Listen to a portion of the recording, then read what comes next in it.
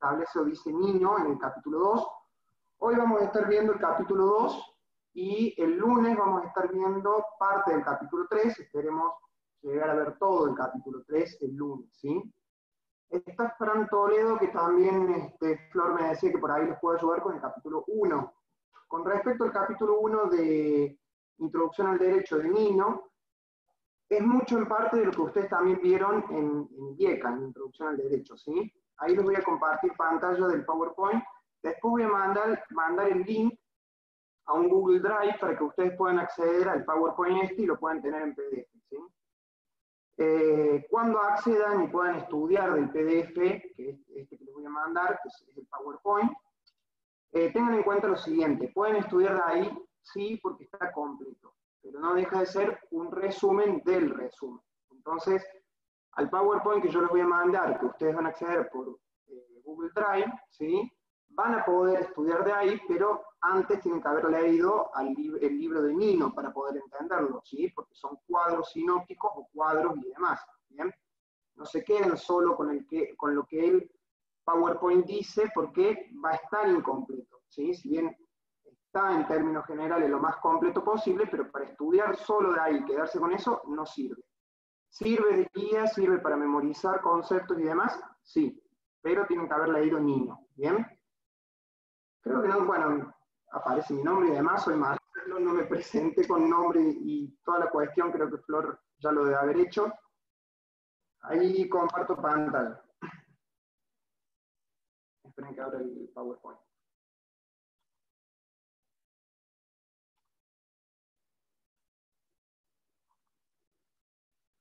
Bien, ahí ven la pantalla.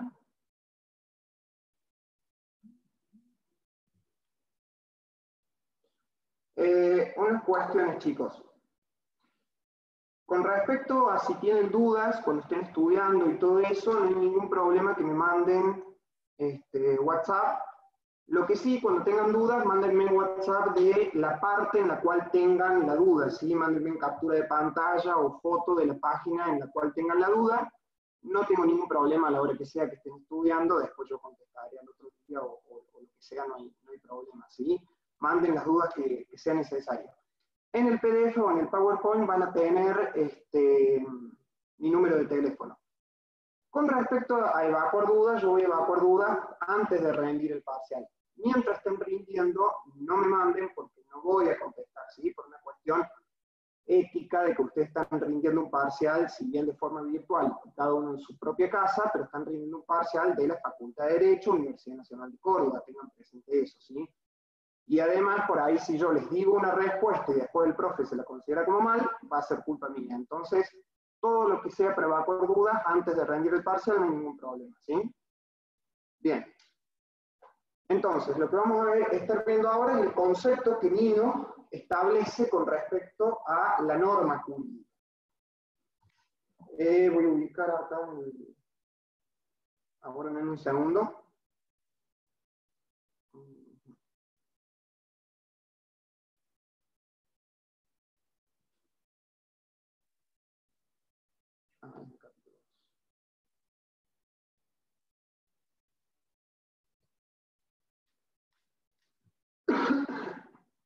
Bien.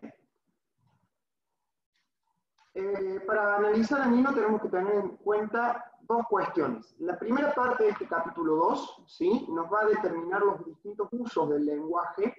Esto ustedes en parte ya también lo vieron en, en IECA. ¿sí?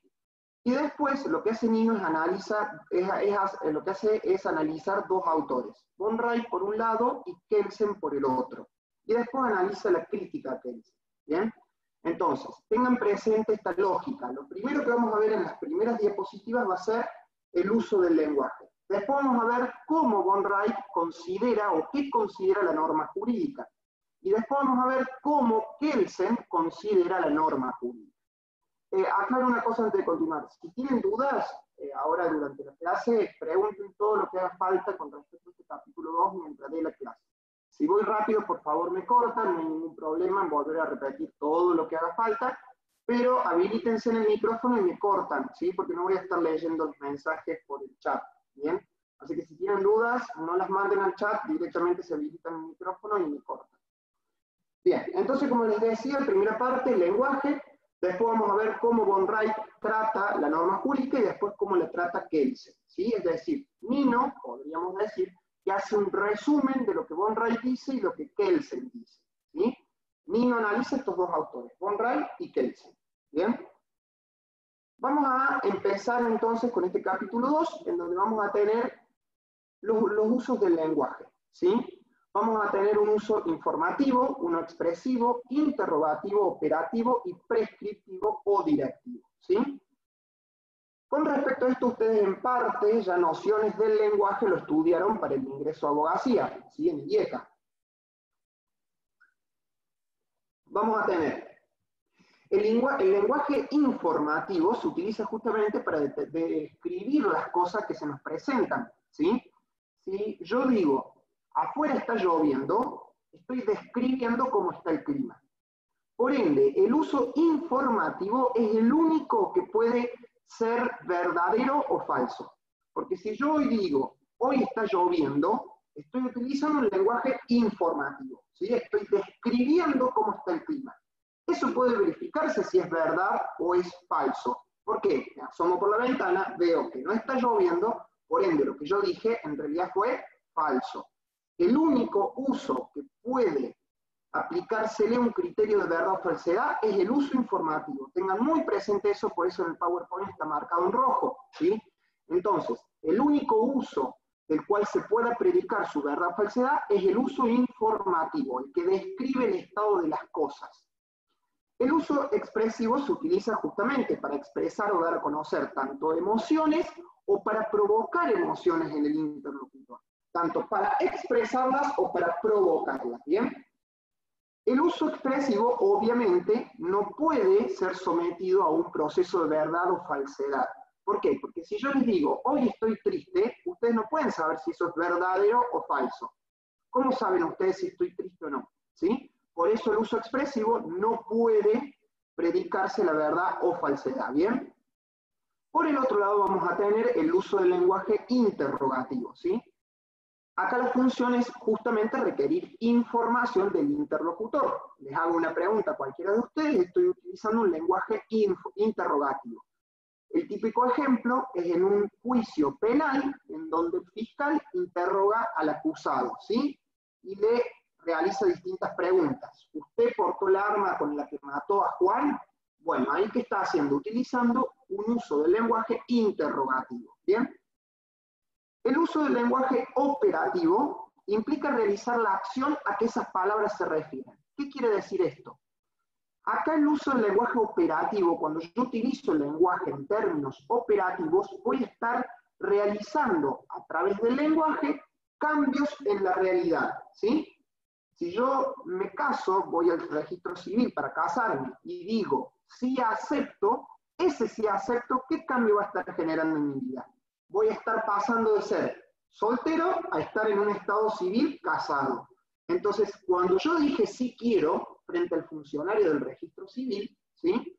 Cuando yo dije sí quiero, estuve utilizando el, el, lenguaje en términos operativos. Porque con esa sola frase generó un cambio en la realidad. Pasé de tener el estado de civil soltero al estado de civil casado. ¿Bien? Ahí el libro eh, establece que el uso operativo ¿sí? Eh, se utiliza para realizar acciones de jurar, prometer y bautizar. Otro ejemplo del, uso del lenguaje operativo es cuando el presidente de la nación toma juramento a sus ministros. Yo soy presidente de la nación, designo como ministro de seguridad a Fernanda. Fernanda, ahí veo, me parece eh, designo a Fernanda como ministra de, eh, de educación. Bueno, le voy a tomar juramento. ¿Cómo se le toma juramento? Jura usted desenvolver el cargo de ministro de Educación eh, conforme a las leyes y demás. ¿Y qué va a decir Fernanda? Sí, juro. ¿Bien? Entonces se compromete, se está comprometiendo a desarrollar su cargo público conforme a las leyes. ¿Bien? Entonces ahí vemos cómo el juramento se utiliza, o mejor dicho, cómo el juramento utiliza el lenguaje operativo. ¿Bien? Eh, queda claro esto del lenguaje operativo, ¿no? Eh, son los juramentos y demás. Si no me cortan, doy por entendido que vamos bien. Si voy rápido, por favor, chicos, no, no hay ningún problema en que me corten y preguntan todo lo que haga falta. ¿sí? Después vamos a tener el lenguaje prescriptivo o directivo, que es el que más nos interesa a nosotros. ¿sí? ¿Qué es lo que estamos estudiando en abogacía? Leyes. Bueno, las leyes, por lo general, podemos decir que utilizan un lenguaje prescriptivo directivo, aunque no siempre sea así. ¿Bien? El uso del lenguaje prescriptivo o directivo es el que propone dirigir el comportamiento de otro. ¿sí? Es decir, yo a través del uso directivo o prescriptivo intento que otra persona realice una u otra acción, o no la realice, en todo caso. ¿sí? Si yo digo, eh, Brenda anda a cerrar la puerta, ¿qué estoy dando? Estoy dando una orden. ¿Qué tipo de lenguaje estoy utilizando? El lenguaje directivo o prescriptivo. ¿Bien? A través de mi lenguaje estoy intentando que otra persona haga o no haga algo o una cosa o lo que sea. ¿sí? Bien. Em, de las oraciones, ahora nos vamos a quedar entonces con el uso del lenguaje directivo. Hay, hay que hacer una salvedad acá. Cuando, em, cuando nosotros utilizamos el lenguaje, ¿sí? por supuesto que mezclamos todos estos tipos de usos. ¿sí? Yo en una sola frase puedo utilizar distintos tipos de lenguaje. ¿sí? En una misma frase puedo decir, afuera está lloviendo, vos Fernanda, ¿te sentís bien con el clima así? ¿Qué tipo de lenguaje utilicé? Informativo, porque expresé o describí cómo está el clima, e interrogativo porque le pregunté a Fernanda cómo se siente ella. En una misma frase utilicé dos tipos de usos del lenguaje. ¿sí? En un texto, chicos, es infinita la cantidad de usos del lenguaje que se da. ¿sí? Tengan presente esto, una sola frase, una sola oración, un solo párrafo, puede tener dos, tres o más tipos de lenguaje incluidos. ¿Bien?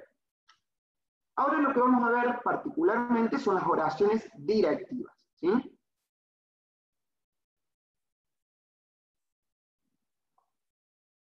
Bien. Las oraciones directivas. Ya dijimos que el único uso del lenguaje del cual se pueda predicar su verdad o falsedad, ¿cuál era? El uso descriptivo, ¿sí? Dijimos acá, el uso descriptivo e informativo es lo mismo. El uso descriptivo o informativo es el único del cual se puede decir es verdadero o falso, ¿sí? El ejemplo de afuera está lloviendo, estoy describiendo cómo está el clima yo puedo verificar, comprobar si lo que dije es verdadero o falso. Las oraciones directivas no pueden comprobarse si son verdaderas o falsas.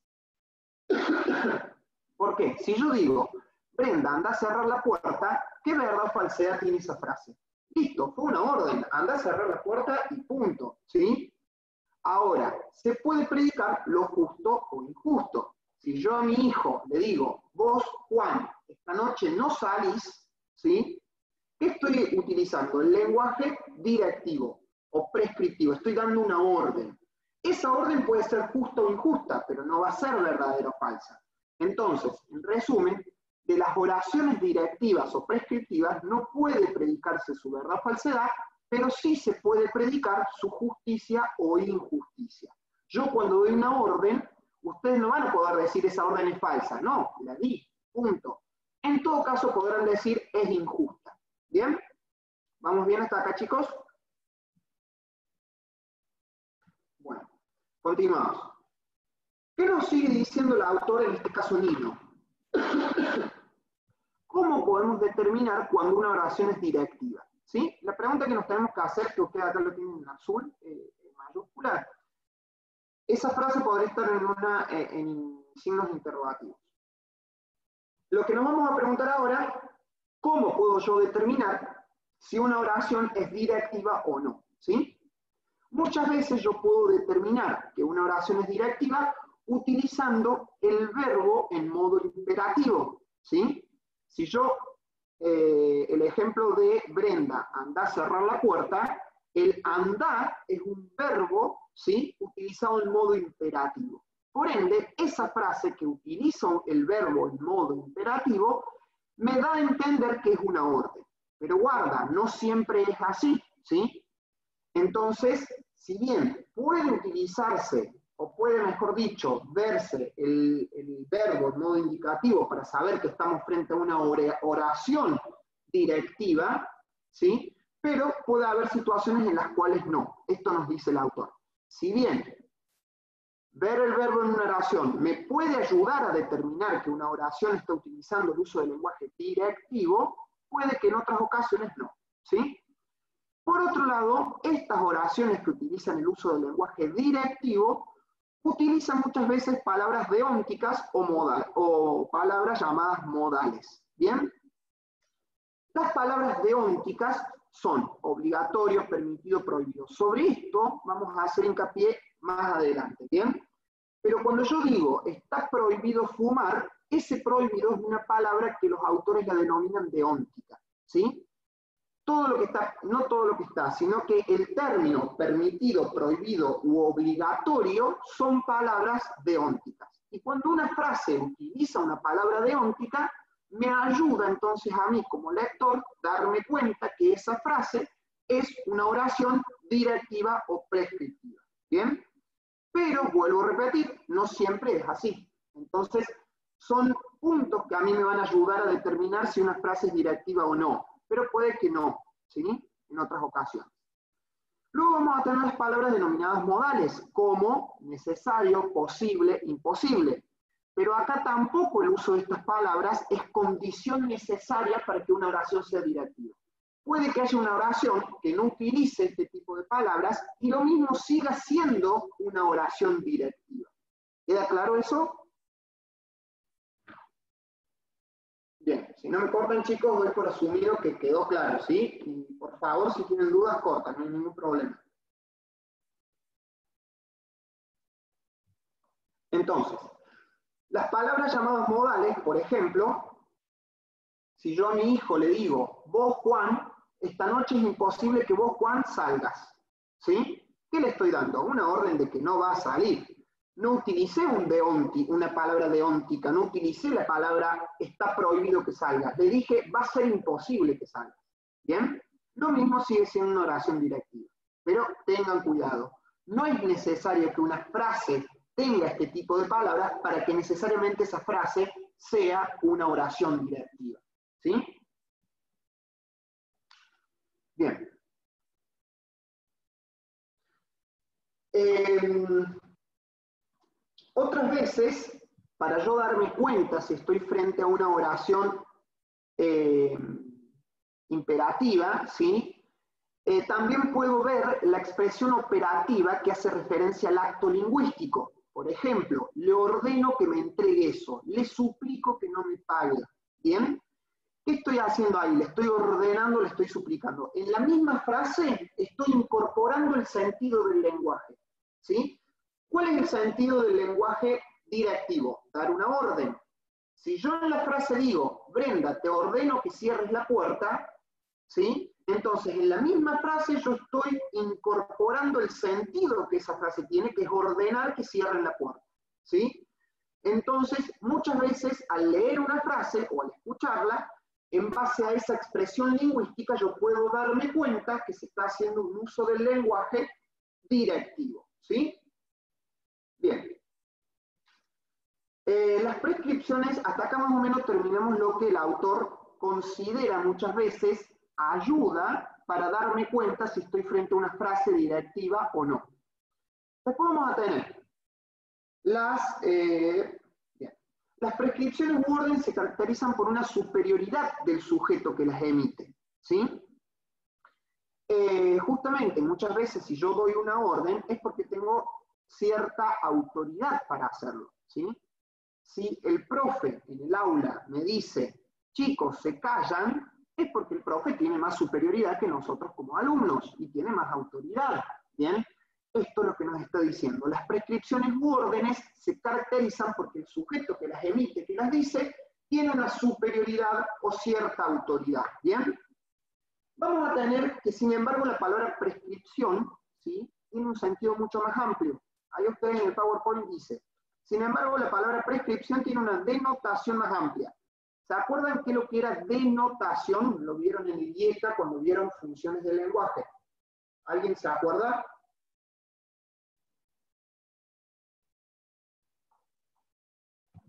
Bueno, estamos todos olvidadizos. Eh, cuando decimos que una palabra tiene denotación, hacemos referencia al grupo de cosas que esa palabra hace referencia. ¿sí? Si yo digo planeta, la denotación de la palabra planeta, ¿cuál va a ser? El planeta Tierra, Saturno, Júpiter, Mercurio. ¿sí? ¿Por qué? Porque esa palabra involucra a un universo de cosas, abarca a un universo de cosas. ¿sí? Esto es lo que nos estoy diciendo. La palabra prescripción tiene una denotación más amplia, no solo incluye a las órdenes. Si yo doy una orden, ¿sí? Estoy dando una prescripción. Pero guarda, porque si yo estoy dando un permiso o una autorización, también podría decirse que es una prescripción. ¿Qué quiero decir con esto? La prescripción tiene o abarca un universo muy amplio, ¿sí? Abarca tanto a las órdenes, como el ejemplo de andar a cerrar la puerta, como también la prescripción va a abarcar a los permisos y autorizaciones. ¿sí? Los permisos o autorizaciones tienen cierta relación con las órdenes, pero no es lo mismo. Una cosa es la orden, anda a cerrar la puerta, y otra cosa es un permiso o una autorización. ¿sí? Te doy permiso para salir del aula. ¿sí? ¿Qué quiere decir? ¿Te di la orden de salir? No, te di permiso. Vos vas a salir si querés o no. ¿Bien? ¿Qué es lo que hay que tener en cuenta acá? Que quien da un permiso o una autorización está en facultad o en la posibilidad de prohibirlo también. Y es por eso que es una prescripción. ¿Sí? Si yo doy el permiso de, que, de salir del aula, es porque tengo la facultad de prohibirles que salgan del aula. Por eso el permiso sigue siendo una prescripción. Ubicamos a la prescripción y dentro de las prescripciones a las órdenes y a los permisos. Las órdenes, el ejemplo, anda a cerrar la puerta, ¿bien? El permiso, ¿sí? Les doy autorización de salir del aula. Sigue siendo una prescripción, ¿bien? ¿Qué pasa con el permiso? ¿Es lo mismo que una orden? No, es distinto. Pero quien da un permiso y lo da porque tiene la facultad o la posibilidad de prohibir lo que está permitiendo. ¿Sí? Entonces tiene esa similitud con la orden. ¿Queda claro? ¿No se hizo lío con esto, chicos? Por favor, me cortan o corten menos menos para decirme que queda claro y van entendiendo. Sí, sí, sí yo por lo menos sí. Bien, bien, chicos. Bueno, si vamos bien, entonces avanzamos. En breve, prescripción. Dentro de las prescripciones, órdenes, permisos. ¿Sí? pero órdenes y permisos no son lo mismo, por todo lo que acabo de decir. Bueno, se tilda el PowerPoint, ahí vuelvo a compartir pantalla.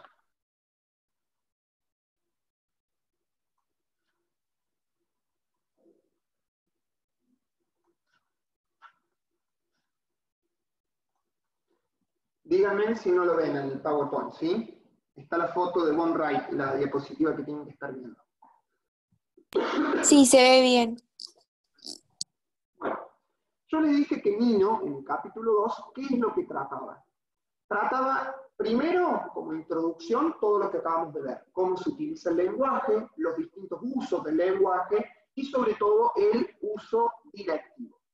Ahora lo que va a hacer Nino es analizar qué entiende von Wright como norma y después qué entiende Kelsen como norma jurídica. ¿sí? Lo que vamos a ver ahora es cómo entiende este autor, von Wright, el término de norma jurídica. ¿Bien? Vamos entonces. Eh, una cosa para aclararles, chicos. El PowerPoint sigue los títulos tal cual están en el libro de Nino. Así que si van a estudiar estos PowerPoint, eh, quédense tranquilos que sigue el orden de los títulos que tiene el libro de Nino. Lo único que no va a estar acá en el PowerPoint, que lo vamos a ver directamente del libro de Nino, es la crítica que dice. Lo vamos a ver al finalizar la clase. ¿Bien? Entonces, las normas, eh, las normas en la teoría de von Wright. ¿Qué es lo que hace este autor, von Wright? Distingue tres tipos de normas. ¿Bien? Eh, chicos, están preguntando dónde pueden encontrar el PowerPoint. Después yo les voy a mandar el link por acá, por, por Zoom, para que puedan acceder. ¿Sí? lo van a tener en PDF.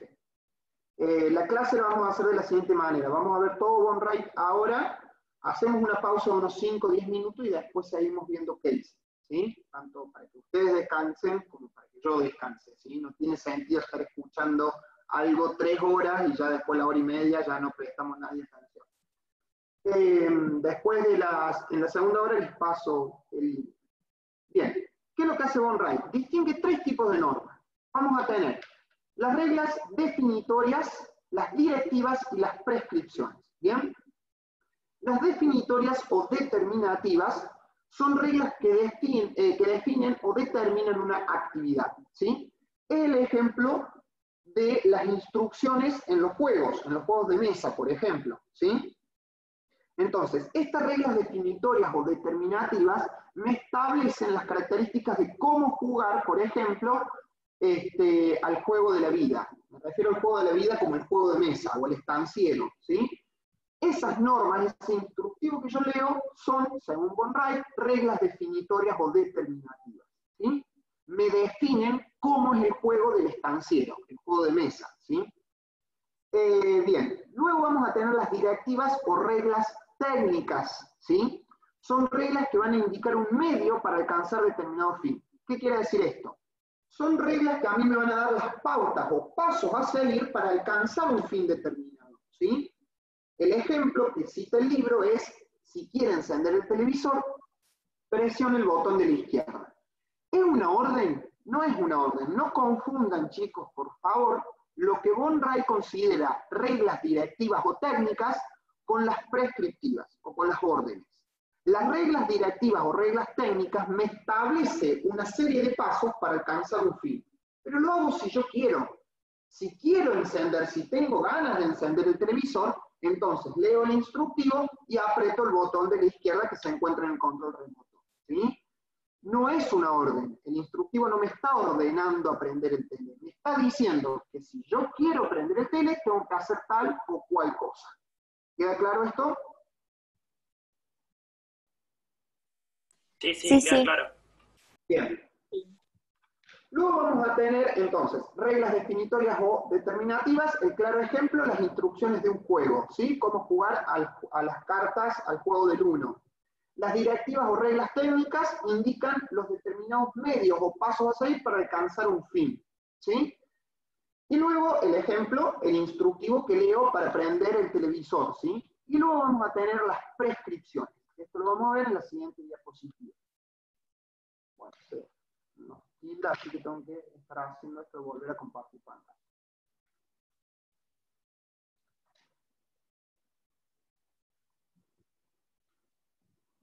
Bien, entonces, la tercera clase de normas principales, algo que me olvidé aclarar. Von Ray establece normas principales y normas secundarias. Ahora estamos viendo las normas principales, que son estas tres, que acabamos de ver, que vamos a ver ahora, la última. Y después vamos a ver las normas secundarias. ¿sí? Una, una cosa que no aclaré, por ahí me van a escuchar que repito mil veces un mismo concepto o, mil veces una misma cosa. Nosotros desde Advocat dimos clases para el ingreso de abogacía. Es un método por ahí de repetir mucho las cosas porque de tanto escucharlas nos queda. Entonces, por ahí si me escuchan dos o tres veces decir una misma cosa, ya después con una sola vez leerlo, ya lo tienen estudiado, ¿sí? Bien, ahora vamos a ver qué es lo que es para Wright las prescripciones, ¿sí? Wright caracteriza las normas prescriptivas mediante elementos que van a distinguirla de las otras anteriores que acabamos de ver, ¿sí? Wright dice, una norma prescriptiva o una regla prescriptiva, ¿sí? tiene ciertos elementos característicos que la diferencian de las otras dos clasificaciones que acabamos de ver. Así nos va a decir Wright que las normas o reglas prescriptivas ¿sí? emanan, emanan perdón, de una autoridad normativa. ¿Cuál es el ejemplo? Eh, la ley de despenalización de marihuana, suponiendo que el, el Congreso de la Nación la aprueba. ¿De quién emana? De una autoridad normativa. ¿Quién es esta autoridad? Justamente el Congreso de la Nación Argentina, que aprobó el consumo de marihuana. ¿Bien? Entonces, para que una regla sea prescriptiva, tiene que emanar de una autoridad, ¿sí? Luego vamos a tener que Von Ray nos dice, estas reglas prescriptivas están destinadas a algún agente. Este agente es sujeto normativo, ¿sí? Si la ley dice que el que matare a otro tendrá de 8 a 25 años de prisión, ¿quién es el sujeto normativo? Y todos nosotros, todos los que habiten el suelo argentino, ¿sí? Cada uno de nosotros somos sujeto normativo. Es a quien está determinada o a quien está indicándose la, indicándose la norma, ¿sí? Luego vamos a tener que para, que una, para que una regla sea prescriptiva, una ley, por así decirlo, la autoridad que la emana tiene que promulgar esa norma, ¿sí? ¿Qué es lo que quiere decir promulgar? Y ustedes lo van a ver en constitucional el segundo semestre de este primer año de abogacía. Si, eh, si el Congreso de la Nación mañana aprueba el consumo de marihuana, la aprueba el Congreso de la Nación, pero ¿quién la promulga? El Poder Ejecutivo. ¿Quién es el Poder Ejecutivo? El presidente de la Nación. El Congreso aprueba la ley, la manda al Poder Ejecutivo. ¿Qué es lo que hace el Poder Ejecutivo? La publica a través del boletín oficial y la promulga. Una vez promulgada, comienza a ser obligatoria. ¿sí? Entonces, ¿qué quiero decirlo con esto? Según Von Reich, para que una regla sea prescriptiva, tiene que ser promulgada. Esa norma tiene que ser promulgada por una autoridad. En nuestro caso, podemos decir el presidente de la nación, si hablamos de una ley nacional. ¿Bien? Luego vamos a tener que, para que hablemos de una regla prescriptiva, ¿sí? Eh, tiene que contener una sanción o amenaza de castigo. ¿sí? Entonces, para que una norma sea prescriptiva, o mejor dicho, un enunciado sea prescriptivo, tiene que contener dentro de sí mismo una sanción o amenaza. El, tipo, el típico ejemplo tendrá de 8 a 25 años de prisión el que matare a otro. Mejor dicho, el que matare a otro tendrá de 8 a 25 años de prisión. Así dice el Código Penal. Entonces, si yo mato a otro, ¿qué sanción me corresponde? De 8 a 25 años de prisión. ¿Es lo que acabo de decir una regla prescriptiva? Sí, porque emanó de una autoridad competente, Congreso de la Nación, ¿sí? Porque el sujeto normativo en este caso voy a ser yo, porque el Código Penal en donde se encuentra ese artículo lo promulgó el Poder Ejecutivo en su momento y porque establece una sanción o un castigo. Si mato a alguien me corresponde prisión, ¿sí?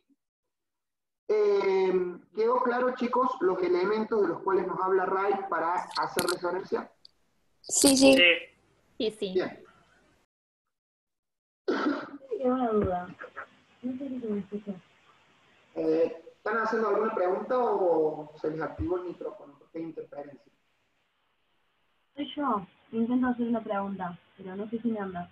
¿Me escuchas? Sí, hay un poco mejor. Sí. Ok. Entre los entre los dos primeros ejemplos, ¿no serían los ejemplos, no valdrían para ambas reglas?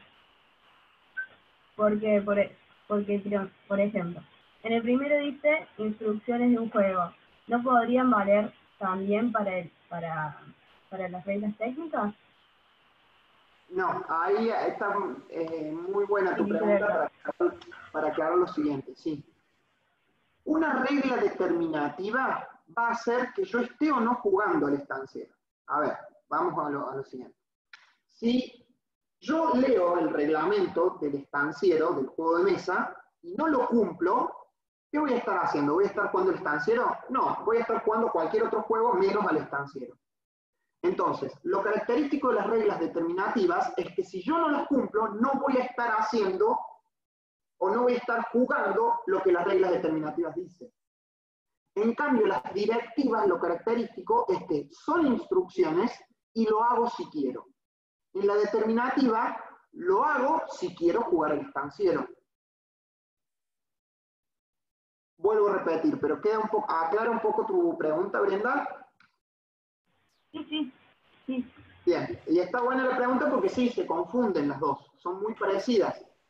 La regla determinativa entonces es el instructivo de, de un juego de mesa. ¿sí? Si yo no la cumplo, como consecuencia, no voy a estar jugando ese juego de mesa, estaré jugando cualquier otra cosa. ¿sí? En cambio, la directiva o regla técnica me establece los pasos a seguir para lograr un determinado fin. Ahí está la otra diferencia con la anterior. En la técnica son pasos a seguir para llegar a un determinado fin, ¿sí? Y lo hago si quiero. Si no quiero prender el tele, no lo hago, ¿bien? Ahí aclaramos la diferencia entre las determinativas y las técnicas, ¿sí? Lo que vamos a ver después, a continuación, va a ser sobre todo las prescripciones, que es lo que más nos interesa como futuros abogados.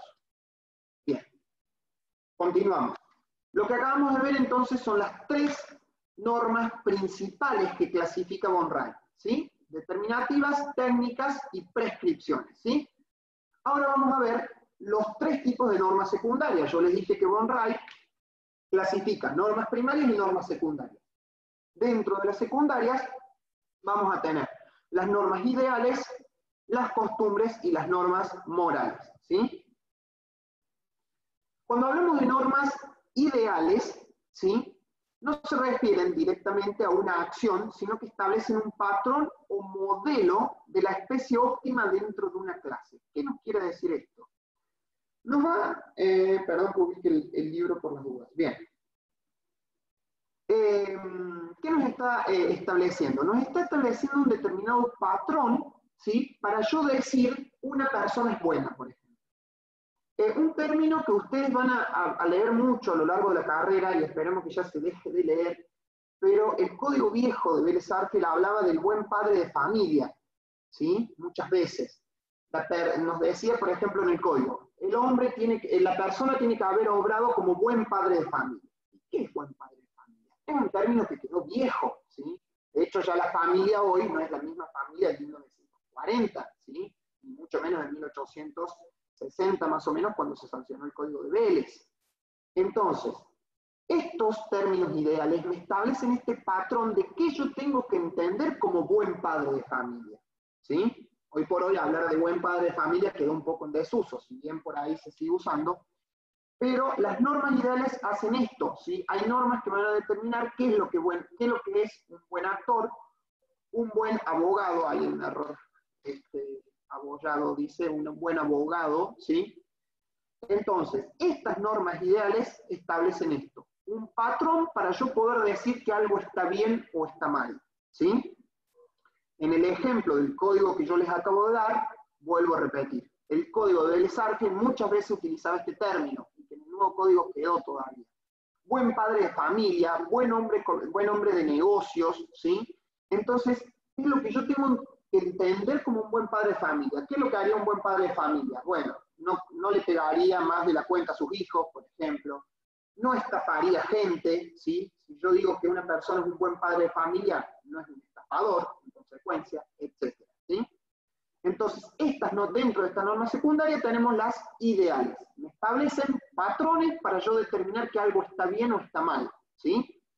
Luego vamos a tener las costumbres, que son especies de hábitos pero para que un hábito se haga costumbre, tiene que tener una característica particular, es que ese hábito se repite, o se repita, mejor dicho, eh, se repita eh, continuamente. ¿sí?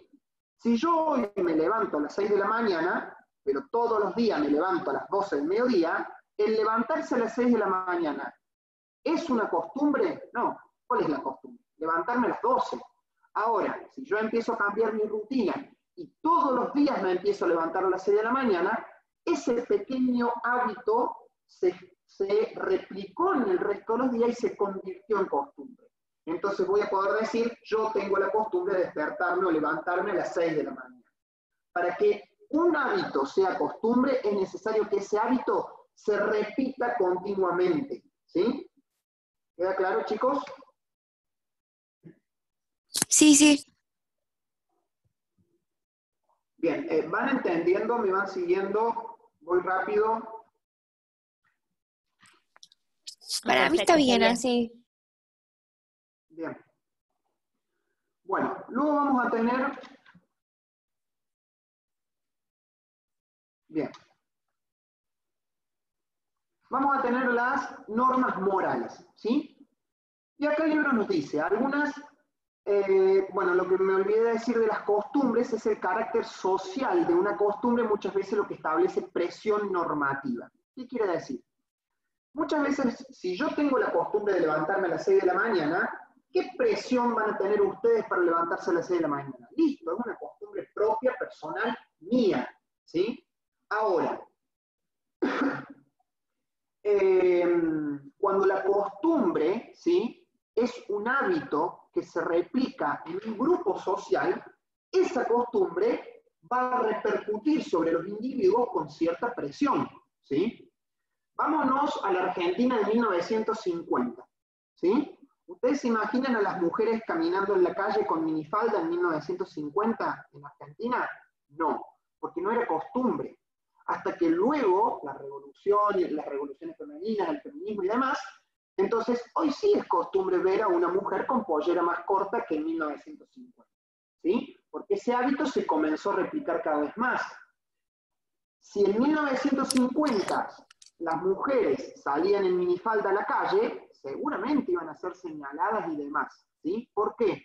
Porque esa costumbre de usar las polleras por debajo de la rodilla, como lo hacía o lo practicaba toda la sociedad, ejercía presión normativa sobre las mujeres. ¿sí? Una pregunta, ¿eso sería una norma consuetudinaria? Bien. No. Las normas consuetudinarias o lo consuetudinario es porque proviene de la costumbre. ¿sí? El ejemplo que yo acabo de dar de la ropa es una costumbre, no es una norma consuetudinaria. La norma, para que, en términos legales, para decir esto es una norma, es porque está escrito. Y puede haber tenido sus orígenes en la costumbre, es decir, en lo consuetudinario. Cuando yo digo que algo es consuetudinario, es porque tuvo sus orígenes en la costumbre. Y muchas leyes argentinas y leyes del mundo se originaron a raíz de la costumbre. Pero no es lo mismo decir que una norma es consuetudinaria que costumbre. Una cosa es una norma que es consuetudinaria porque tuvo sus orígenes primeros en la costumbre y otra cosa es decir costumbre. Porque la costumbre puede ser cualquier cosa, ¿sí? Es costumbre que las mujeres hagan tal o cual cosa, se vistan de tal o cual forma en 1950, era costumbre, ¿sí? En cambio, una norma consuetudinaria implica que su origen primero se originó a raíz de la costumbre, ¿sí? ¿Queda claro, Julieta? Sí, sí, gracias, a ver si. Perdóname, ¿sería una costumbre, eh, por ejemplo, mantener un espacio público limpio, por ejemplo, una plaza donde va toda la gente y pones los residuos adentro del tacho de basura? Sí, eh, claramente sería una costumbre que, bueno, a nosotros los argentinos nos está faltando, pero sí, sería una costumbre. Eh, ahora, en esa misma plaza, si ustedes leen un cartelito prohibido pisar el pasto, ese prohibido pisar el pasto no va a ser una costumbre, va a ser una orden prescriptiva. ¿Se entiende? Ese cartelito, no pisar el pasto, sería una prescripción. ¿Por qué? Porque ese cartelito seguramente, volvemos a la diapositiva anterior,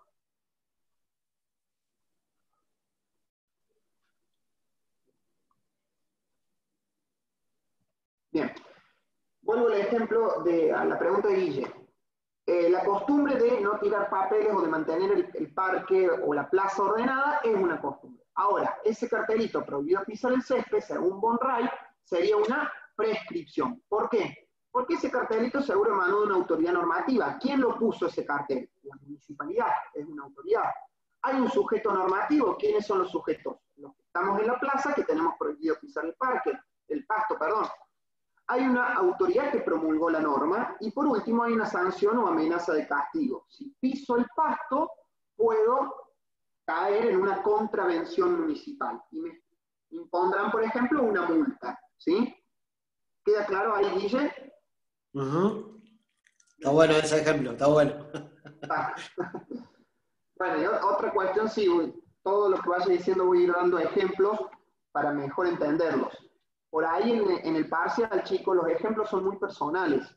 Yo puedo dar un ejemplo de lo que entiendo por tal cosa, pero el profe puede considerar que ese ejemplo es otra cosa. Entonces, ustedes, si el parcial es a desarrollar, usen los ejemplos que el profe les dio, les dio clases, ¿sí?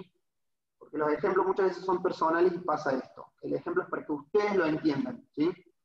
Bien. Eh, ¿Qué ponen en el chat? ¿Te puedo hacer una pregunta que me quedó una duda de la, de lo anterior. O sea, si vos, por ejemplo, vas vas al nutricionista, ¿no? Y él te dice, por ejemplo, vos tenés que perder de peso. O sea, yo ahí lo tomo como una orden de autoridad de que él es médico o sabe, o si no porque es una autoridad porque ha estudiado para eso y me recomienda bajar de peso para que, para que yo esté en una mejor forma física. No sé si más o menos entender lo que te pregunto. Sí, el tema es que Von Ray analiza la norma prescriptiva reducida al mundo legal. ¿sí? Si aplicamos lo que Von Ray dice a tu ejemplo, podría decir entonces que sí, pero no hay sanción ahí, hay consecuencia. No va a haber una ah. sanción el nutricionista no me va a imponer una sanción si yo no bajo de peso. En todo caso, habrá consecuencias, que no es lo mismo. ¿Sí? Buenísimo. Bueno, entonces, continuamos ahora sí con las normas secundarias. ¿Bien? Volvemos a los secundarios. Vimos las ideales, las costumbres y ahora las morales. ¿Sí? Algunas normas morales, como las que se refieren a la vida sexual, tienen su origen en la costumbre. Y acá volvemos, no confundan costumbre con norma moral, ¿sí? La costumbre es el hábito que se replica eh, continuamente, que se genera una costumbre, ¿sí? Pero no llega a ser, podemos decir, una norma, sino que esa costumbre ejerce presión sobre los individuos, ¿bien? La que va a ser una norma propiamente dicha va a ser la norma moral, ¿bien? Y esa norma moral puede tener un origen teológico o teleológico, que no es lo mismo, ¿sí? A ver, algunas normas morales. Ya creo que ahora no está tan presente, pero en, el, en 1940, 1950, una norma moral muy presente era llegar virgen al matrimonio, tanto hombres como mujeres, que provenía de la iglesia, ¿sí? Entonces, eso, el llegar virgen al matrimonio, era una norma moral establecida por la iglesia. ¿sí? ¿Qué origen reconoce? Un origen teológico, porque Dios nos dice en la Biblia que hay que llegar puros y santos al matrimonio. ¿Bien? Ahora, la norma teleológica, ¿sí? Eh, perdón, La norma teleológica, lo teleológico viene de un fin, de alcanzar un fin, ¿sí? La norma moral que tenga un origen, en un origen teleológico, va a ser aquella que me va a establecer una serie de conductas a seguir para alcanzar un fin, ¿sí? Pero no deja de ser una norma moral. No las confundan con las normas técnicas que vimos al principio como normas primarias. ¿Quedó claro esto o los confundí? No, no entendí la diferencia. ¿No entendiste, Juan? No, no entendí la teleológica con la otra que vimos hace rato. Bien. Vamos, eh, vamos de vuelta. Normas morales. Pueden reconocer su origen teológico o teleológico. Teológico es porque se originó en Dios, ¿sí? Dios me dijo que tengo que llegar virgen al matrimonio. Una norma moral teológica. La teleológica es una norma moral que me va a establecer a mí una serie de pasos para llegar a un determinado fin. ¿Sí? ¿Queda claro? ¿Vamos bien ahí, Juan? Sí, sí, sí, sí. Bueno, lo que yo les decía ahora, préstenme atención. La norma moral teleológica, yo les dije, es una norma moral que me establece una serie de conductas para alcanzar un determinado fin. ¿Sí? ¿A qué les, a qué les recuerda esto que les estoy diciendo? A las normas principales técnicas. Perdón, pero si tilda el PowerPoint me tiene que volver a compartir.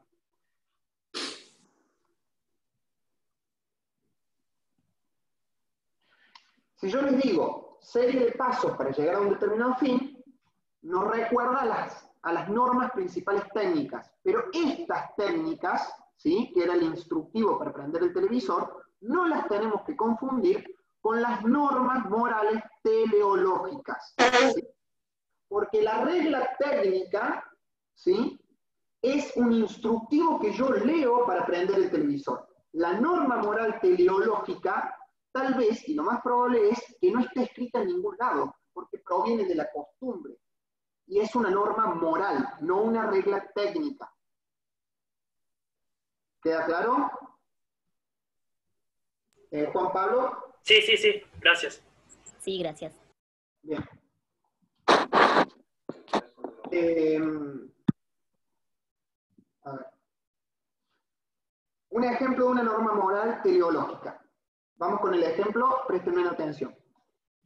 Guille, eh, ¿podés ahí cancelar el audio para que no interfiera? Ejemplo de norma moral teleológica. Si yo quiero ser un buen empleado, estoy trabajando en un banco, ¿qué es lo que tengo que hacer? Llegar siempre a horario, no llegar tarde. ¿Sí? Es una norma moral teleológica, más allá de que el banco va a tener una regla que me va a decir que tengo que cumplir horarios, ¿sí?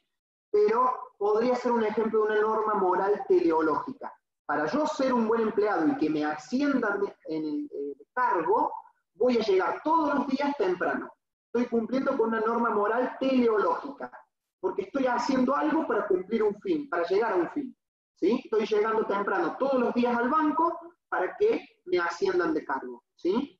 Más allá hago la salvedad que seguramente en el contrato que yo firme con el banco, el banco me tome como empleado, va a estar mi horario a cumplir. Pero lo quiero dar como ejemplo para que se entienda. ¿sí? Bien. Lo que acabamos de ver entonces, normas secundarias según Borray, ideales, costumbres y normas morales. Normas principales, determinativas técnicas y prescripciones. Lo que vamos a ver ahora es esta última, vuelvo a esta última, ¿sí? Lo que hace ahora el autor es, lo que hace Nino, es analizar lo que Von Ray establece como elementos de las normas prescriptivas, ¿sí? Entonces ahora nos vamos a centrar particularmente, chicos, en esta última, dentro de las principales, las prescripciones, ¿sí? Nos olvidamos un poco del resto, nos centramos en estas últimas. Bien, entonces, normas prescriptivas son normas principales según Von Ray. Algo ya dijimos de esto. Von nos va a decir que para que una norma sea prescriptiva tiene que tener ocho elementos, ¿sí? Carácter, contenido y condición de aplicación. Estos tres son el núcleo normativo, ¿sí? Luego, nos dice Monray, para que una norma prescriptiva este, sea tal, tiene que emanar de una autoridad, un sujeto y una ocasión. ¿sí? Estos tres son componentes distintivos de las normas eh, prescriptivas, ¿sí? Eh, pero que no se encuentran necesariamente en las demás normas. ¿sí? Esto es lo que lo diferencia. Las primeras tres, carácter, contenido y condición de aplicación, hacen al núcleo normativo. Las siguientes tres, autoridad, sujeto y ocasión, son propias características de las normas prescriptivas. ¿sí? No se encuentran en las demás normas que acabamos de ver. ¿sí? Solo en las prescriptivas podemos decir. Más allá de que, a ver, puede encontrarse en alguna norma, en alguna norma que no sea prescriptiva el carácter 4, 5, 6, ¿sí? pero podemos decir que son más distintivas o propias de las normas prescriptivas. ¿Quedó claro, chicos, o se hizo lío? Claro, claro. Está todo bien. Bien.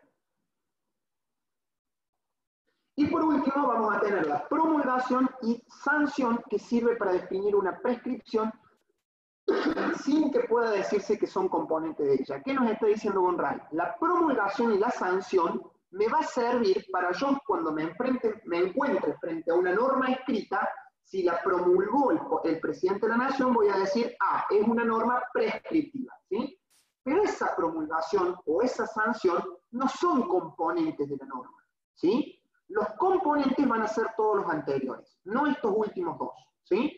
Me ayudan a mí para determinar que una norma escrita en un papel es una norma prescriptiva, pero no son componentes del núcleo duro de esa norma prescriptiva.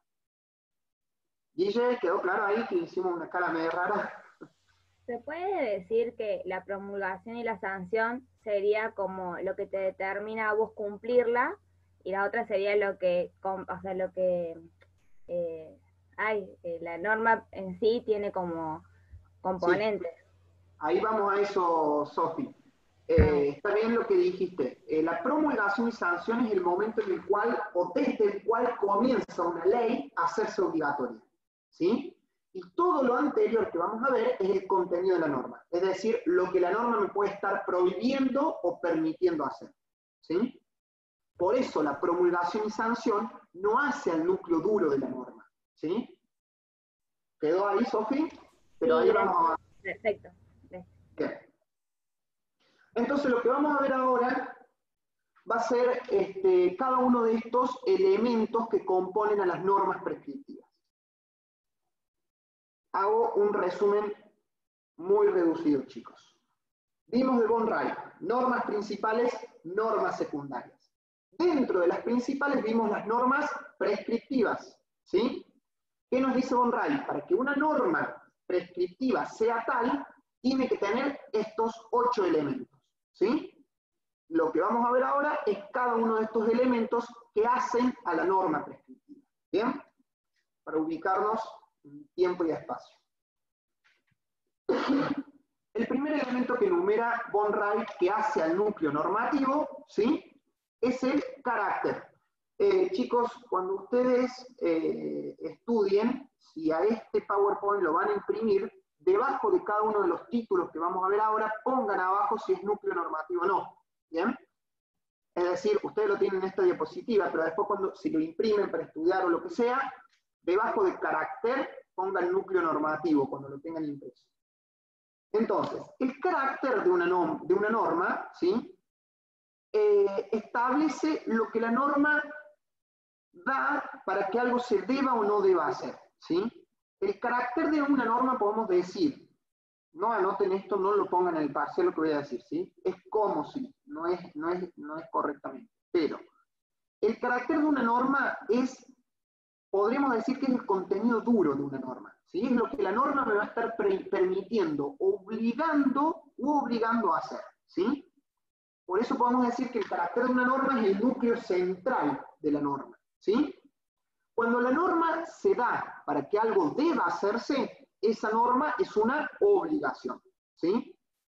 En el caso de que la norma se formule para que algo no deba hacerse, es una prohibición. ¿sí? Pero cuando la norma tiende a que algo pueda hacerse, ojo con el, verbo, pueda hacerse, el carácter es permisivo. ¿sí? Una cosa es mandar a hacer algo, es una obligación. Si no permito hacer algo, es una prohibición. ¿sí? Pero si algo puede llegar a hacerse, es eh, una, un permiso, ¿bien? Una autorización. Eh, eh, ¿Queda claro ahí, chicos? ¿Vamos bien? A ver si mandaron, eh, ¿qué mandaron en el chat? Sí, está bien.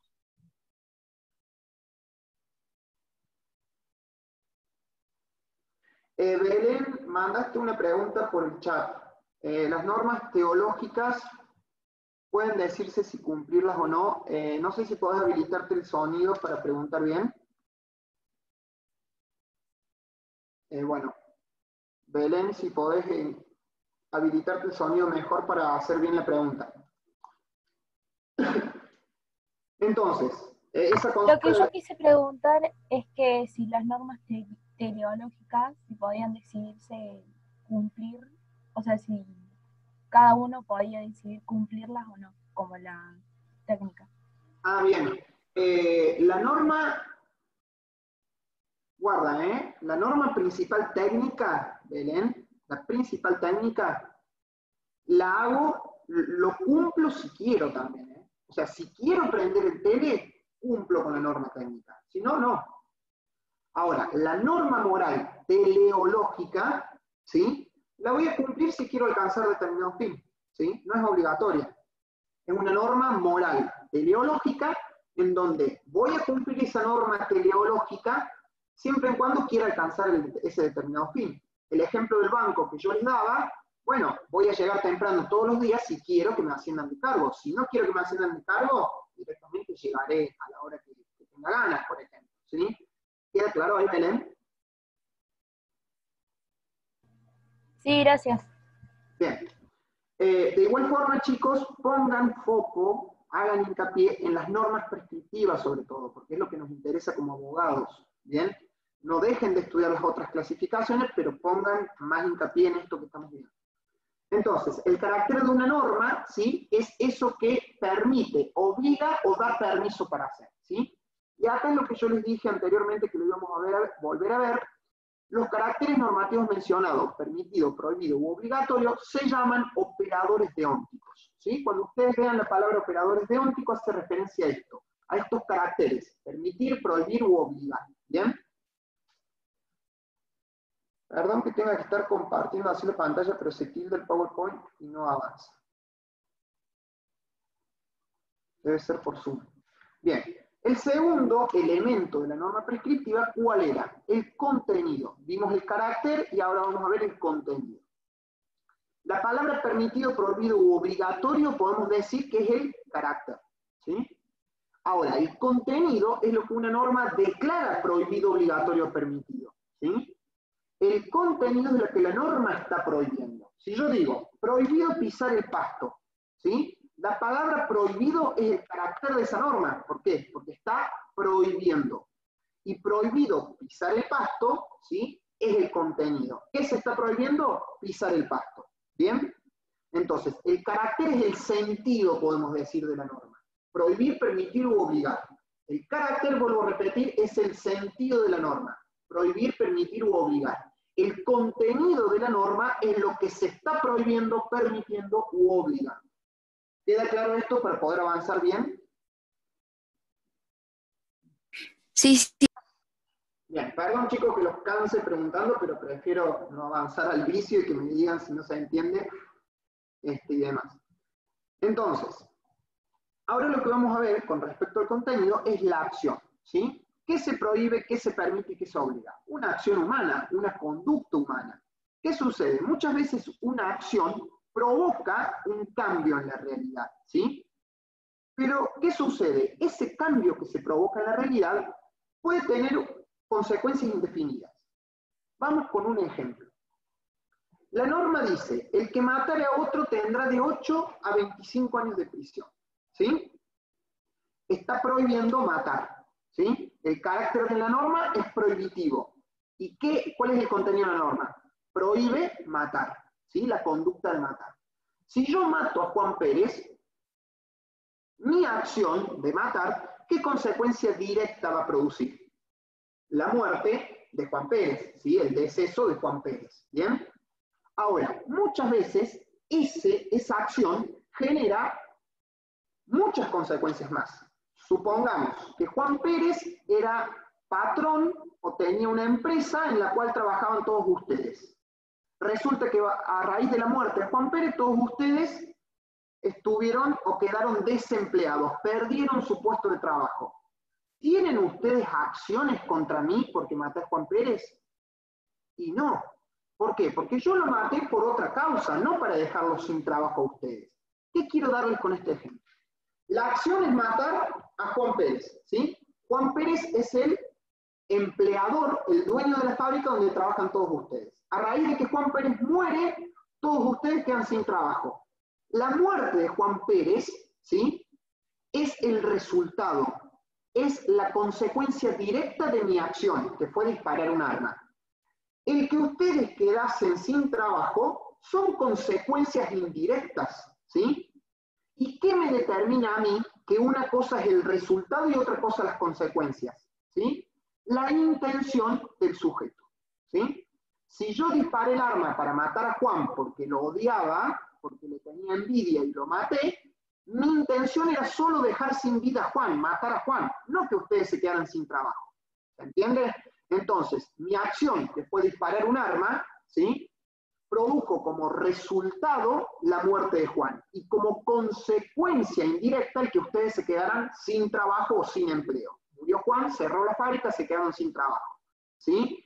Entonces, ¿qué nos dice acá el autor? Una acción humana puede generar un número infinito de consecuencias, pero lo que nos interesa particularmente es el resultado de esa acción.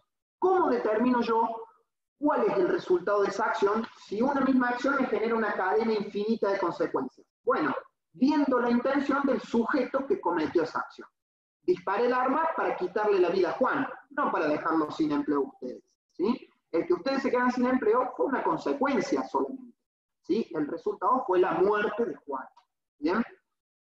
¿Quedó claro, chicos, esto? Porque es por ahí lo que en el libro es un poco confuso. Sí, sí, quedó claro. Bien, y que ustedes lo van a entender y ver mucho mejor cuando vean derecho de daños, ¿sí? La causación del daño y todo eso, cuarto, quinto año de la carrera. Bien. Entonces, vemos o acabamos de ver el contenido. Ahora vamos a ver el siguiente.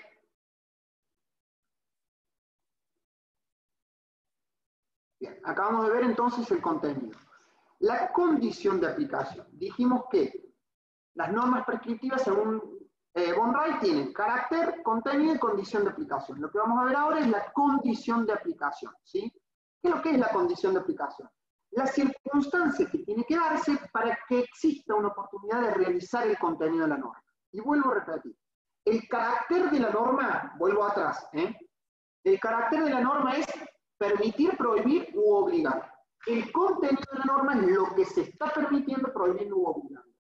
La condición de aplicación es la circunstancia que tiene que darse para que este contenido de la norma se aplique. ¿sí? Entonces, la condición de aplicación son las circunstancias que tienen que darse en la realidad para que el contenido de la norma pueda verse realizado. ¿sí? Y en este sentido, Bonray clasifica, según la condición de aplicación, en normas categóricas o hipotéticas. ¿sí? Vamos a tener las categóricas, ¿sí? solo suponen las condiciones que haya eh, perdón, para que haya oportunidad de realizar su contenido. A ver, en este, el ejemplo es cierre la puerta. Es categórica porque sus condiciones de aplicación es que haya una puerta que esté abierta, ¿sí? La categórica a mí me va a establecer, cierre la puerta, el ejemplo que nos dice el libro, ¿cuál es la condición para que se cierre la puerta? Que la puerta esté abierta. Vamos a un ejemplo más jurídico. El que matare a otro tendrá de 8 a 25 años de prisión, ¿sí? Código penal. Eh, ¿Cuál es la condición para que se aplique esta norma? Para que alguien tenga 8 o 25 años de prisión. Bueno, que una persona haya matado a otra. ¿Sí? Esa es la condición. Ahí tenemos una condición categórica. Porque si, un, si mm, Julieta mata a otra persona, ¿sí?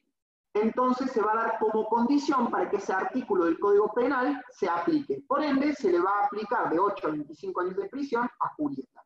¿Qué es lo que estoy aplicando con esos 8 años, eh, eh, con esos 8 años de prisión? La sanción. La sanción guarda. Es otro elemento de la norma prescriptiva que ya lo vamos a ver. ¿Queda claro, chicos? ¿O se hizo lío? No, está claro, por lo menos. Bien. Sí, sí, está claro. Perfecto. Ahora, las hipotéticas, ¿sí? Son las que, aparte de una condición de aplicación, ¿sí? Eh, prevén condiciones adicionales. ¿Cuál es el ejemplo? Si llueve, cierre la puerta, ¿sí? Entonces, es necesario que llueva para cerrar la puerta. La hipotética que establece una situación hipotética que se tiene que dar, una situación que puede o no darse, puede o no llover para que se, para que se tenga que cerrar la puerta, ¿sí? Em, este ejemplo, por ejemplo, em, podemos decir el femicidio. A ver, el tema que son contenidos avanzados, pero lo voy a dar como ejemplo. No lo anoten, no lo escriban, es para que entendamos la clasificación hipotética, ¿sí? No se queden con el ejemplo solamente para que lo entiendan porque se les va a hacer lío. Eh, nosotros tenemos el Código Penal que tipifica el, homicidio, ¿sí? Pero lo agrava si se trata de un femicidio, ¿sí? Si se trata de un femicidio, vamos a tener más de 8 años de prisión seguramente. ¿Bien? Entonces, si yo maté a alguien, se cumple con esto, con que cometí un homicidio, norma categórica. Ahora, si yo maté a alguien en condición de que la maté por, su solo hecho de ser mujer, por odio al género opuesto, ¿qué se está cometiendo? Un femicidio. ¿Sí? Entonces, esta norma que penaliza el femicidio, podemos decir que es una condición, que es una norma hipotética, porque además de darse la condición de haber matado a alguien, tiene que darse una condición adicional. ¿Cuál es la condición adicional? Que yo mate a alguien por su condición de ser mujer solamente. ¿Quedó claro con este ejemplo o se hizo lío, chicos? Porque es contenido de penal 2. No, más claro, por lo menos para mí. Perfecto, bien. Si no me dicen y vuelvo a explicar lo que haga falta, ¿bien? Ah, estos tres primeros elementos son lo que llamamos entonces núcleo normativo, ¿sí? Lo que Von Ray llama núcleo normativo. Y algo de lo que viene ya vimos, ¿sí? Von Ray dice, como elemento de las normas prescriptivas vamos a tener la autoridad, es el agente que la emite o la dicta. Yo con esto ya di el ejemplo del Congreso de la Nación. ¿El Código Penal es una ley? Sí, es una ley, particularmente un, código porque emplea muchos artículos, eh, pero ¿quién lo emana? ¿Quién lo sanciona? ¿Quién lo puede reformar ese código penal? El Congreso de la Nación Argentina. Ese Congreso es este agente que emite la ley, que emite esta norma. Entonces, para hablar de una norma prescriptiva, tiene que emanar de una autoridad, ¿sí? En términos legales, de una autoridad competente, ¿sí? Bien. Siguiendo el criterio de autoridad, la vamos a clasificar en teónomas y positivas. Las teónomas son las que emanan de un agente supraempírico, o la palabra supraempírico, si se les complica, un agente divino, pongan entre comillas, Dios, ¿sí? Eh, si leemos los diez mandamientos que están en la Biblia, Éxodo 20, leemos los diez mandamientos de la Biblia, ¿qué es lo que vamos a decir? ¿Emana de qué autoridad? De Dios. Son normas que podemos decir que se pueden llamar teónomas. ¿sí? Esos diez mandamientos, no matarás, no robarás, etc. ¿sí?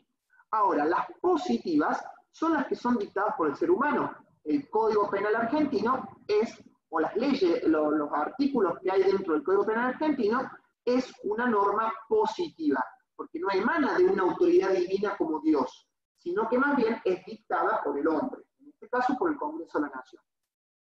También podemos hablar de normas heterónomas y autónomas. ¿Bien? Las heterónomas son las que un agente da a otro, ¿sí? Un agente, Congreso de la Nación, nos prohíbe matar. Las autónomas son las que la gente se da a sí mismo. Ejemplo de una, de una autónoma, cuando el Congreso de la Nación se autorregula los sueldos, por ejemplo. Eh, entre paréntesis, el único puesto de trabajo en la Argentina que tiene la posibilidad de autoestablecerse, lo que va a cobrar son los, los diputados y senadores. Los diputados y senadores son los únicos que se dicen cuánto van a cobrar ellos mismos. Eh, las autónomas, entonces son las que un agente se da a sí mismo. Cuando el Congreso de la Nación se regula o dicta su, este, se me fue la palabra, me fue la palabra, chicos, perdón. Eh, su ordenamiento interno, ¿sí? cuando el, el Congreso de la Nación dicta los pasos a seguir para sancionar una ley, ¿a quién es obligatorio cumplir esos pasos? A los diputados y senadores solamente. ¿sí? Por eso es autónoma. Emana de la misma autoridad a la cual se le va a aplicar. Reglamento interno, no me salía la palabra. El reglamento interno de la Cámara de Diputados, del Congreso de la Nación, ese reglamento interno podemos decir que es una norma autónoma. ¿Sí? Porque ¿quién, la sabe- ¿quién lo dicta el reglamento interno de la Cámara de Diputados? Que es el que me dice cómo se vota, cómo se redacta un proyecto de ley, etc. Lo dicta el Congreso de la Nación. Pero ¿a quién le va a ser aplicable? Al mismo Congreso de la Nación. Por eso es autónoma. Emana de la misma autoridad a la cual se le va a aplicar. Bien, eh, Candela está preguntando si le van a subir o no. Ahí los chicos de la franja después, bueno, dirán, no sé si la están grabando o no la clase, así que eh, Cande, cualquier cosa, después habrá audios de la clase, ¿sí? Y el PDF, eh, después pedíselo a sus compañeros al link, pues lo voy a pasar por acá. Bueno, entonces, ahí tengo que volver a compartir porque se tildó. Autoridad, ya lo dijimos. Ahora, estamos entonces analizando los elementos que hacen a las normas prescriptivas según Von Wright. Acabamos de ver autoridad, lo que vamos a ver ahora es sujeto, el quinto elemento. ¿Bien? El sujeto normativo son los agentes que son destinatarios de ellas, es decir, a los agentes que se le aplican estas normas. ¿sí? Algo ya también dijimos, las normas pueden clasificarse en particulares o generales. ¿sí? Particulares cuando se dirige a uno o varios agentes determinados. Ejemplo de las particulares, eh, bueno, vieron ahora con todo esto del coronavirus que eh, se está por sancionar, o no sé si ya se sancionó, una ley que crea un impuesto a quienes blanquearon fondos el año pasado, creo que el año pasado o el anterior. Ese, esa norma que me va a generar un impuesto a la, de la riqueza que yo blanqueé el año pasado, blanquear, reduzco chicos, tengo una cuenta offshore en, tengo una cuenta offshore en, este, en Panamá, necesito ingresar a la Argentina, lo blanqueo, ¿sí? Era plata en negro que la blanqueé. Bueno, muchos muchas personas, bueno, no muchas personas, personas más ricas, hicieron eso. Eh, ¿Alguien está rayando el PowerPoint, chicos? Eh, bien, muchas personas hicieron ese blanqueo y hoy se crea una ley que ¿qué les dice? Tenés que pagar un impuesto extra por haber blanqueado esa plata. Esa norma que les acabo de decir es particular, porque ¿a quién va a ser aplicable? Solo los que blanquearon ese dinero, que serán mil, dos mil personas en Argentina, ¿sí? En cambio, las generales se dirigen a una clase de agentes indeterminados por medio de una descripción. Y dentro de las generales vamos a tener las conjuntivamente generales y las disyuntivamente generales.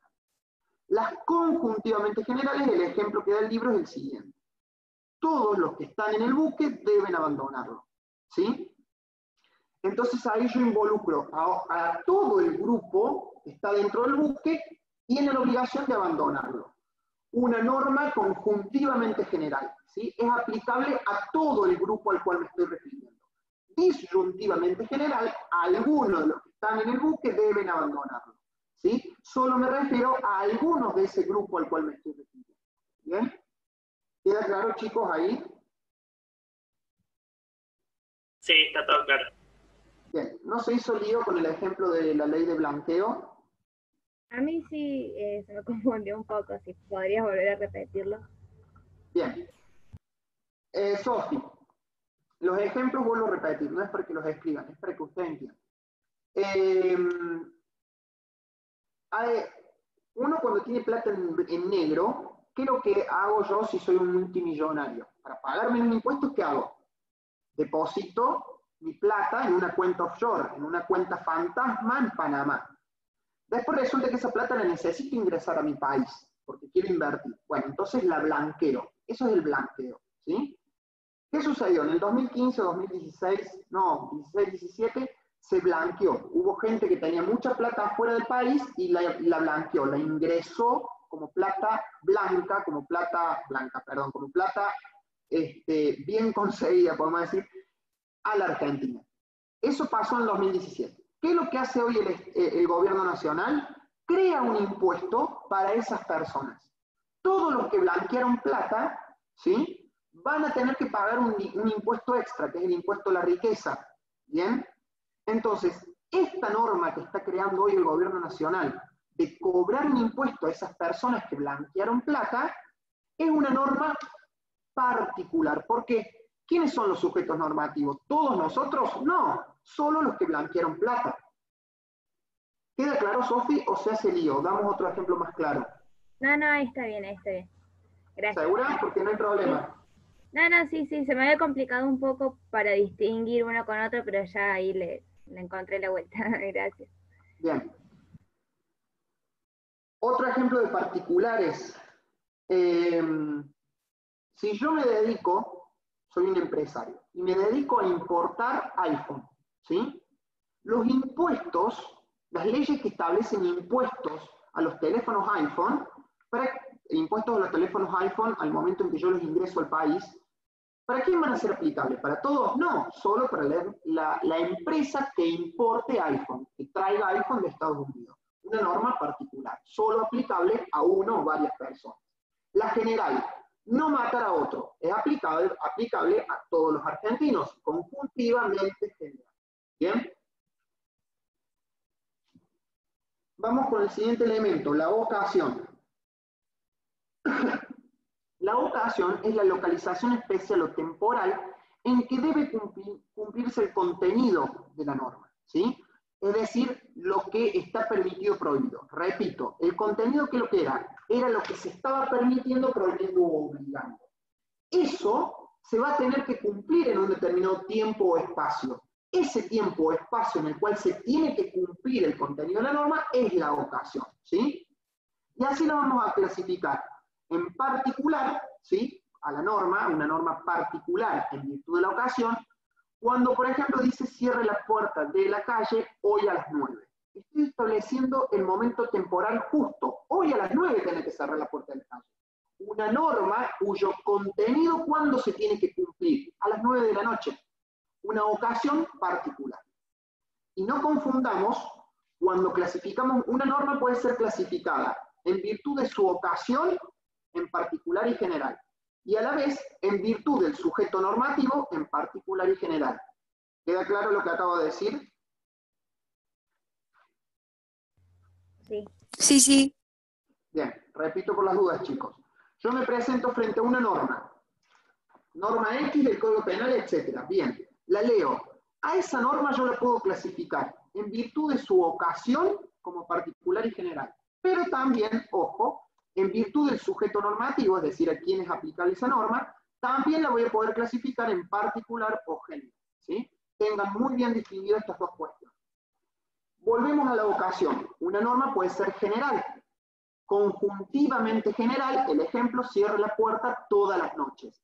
Acá, lo general hace referencia a la localización especial o espacial o temporal general. ¿sí? Cierre la puerta todas las noches. Todas las noches va a tener que cerrar la puerta conjuntivamente general. La generalidad se da sobre la, la ocasión en la cual se tiene que cumplir el contenido de la norma. Me cortan, por favor, chicos, si se hace lío y hay que volver a repetir cualquier cosa. La disyuntiva general es, el ejemplo, puedes ir al cine cualquier día de esta semana.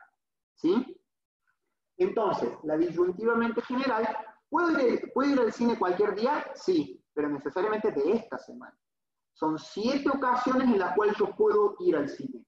Siete días dentro de la semana. A ver, vamos con un ejemplo. Y por favor, traten de seguirme y me cortan si se perdieron. Si yo digo, em, Lourdes, cerrar la puerta hoy a las nueve. ¿Es una orden? Sí, estoy dando una orden de cerrar la puerta. Si yo le tengo que clasificar a la orden que acabo de dar en base al sujeto normativo, podemos decir que entonces es una norma particular, porque me referí solo a Lourdes. Lourdes, cerrar la puerta hoy a las 9. Y si le tengo que clasificar en base a la ocasión, va a ser una norma general conjuntivamente general. ¿Sí? Porque va a tener que cerrar la puerta hoy, perdón, particular, discúlpenme chicos, particular porque va a tener que cerrar la puerta hoy a las 9. ¿Sí? Ahora, ¿está claro el ejemplo que acabo de decir? Sí. Otro ejemplo. Si yo digo, Juan Pablo este, cerrar la puerta todas las noches. En base al sujeto es particular, en base a la ocasión conjuntivamente general, porque todas las noches va a cerrar la puerta. El sujeto es uno solo, Juan Pablo. La ocasión es todas las noches. Por eso es conjuntivamente general en base a la ocasión. Pero particular en base al sujeto normativo, que es a quien se le aplica esa norma. ¿Sí? ¿Queda claro, chicos? Avanzo, ¿eh? Bien. Por último, dijimos que hay dos elementos, los últimos dos, que Bonra enumera, la promulgación y la sanción. La promulgación es la formulación de la prescripción, consiste en expresarla mediante un sistema de símbolos. Mientras que la sanción es la amenaza de un daño que la autoridad normativa puede agregar a la prescripción. Vamos a explicar esto. La promulgación, ¿sí? es, es cómo yo formulo esa norma. Si yo soy, eh, diputado o senador, me pongo a redactar una norma, ¿sí? Cuando esa ley llega al Poder Ejecutivo, presidente de la Nación, el presidente de la Nación la ley está de acuerdo, la promulga y la publica en el boletín oficial, quiere decir que está promulgada.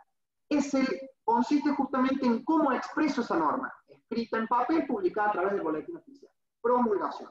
La sanción es la amenaza que esa ley prevé. El ejemplo de el que matare a otro tendrá de 8 a 25 años de prisión, ¿cuál es la sanción?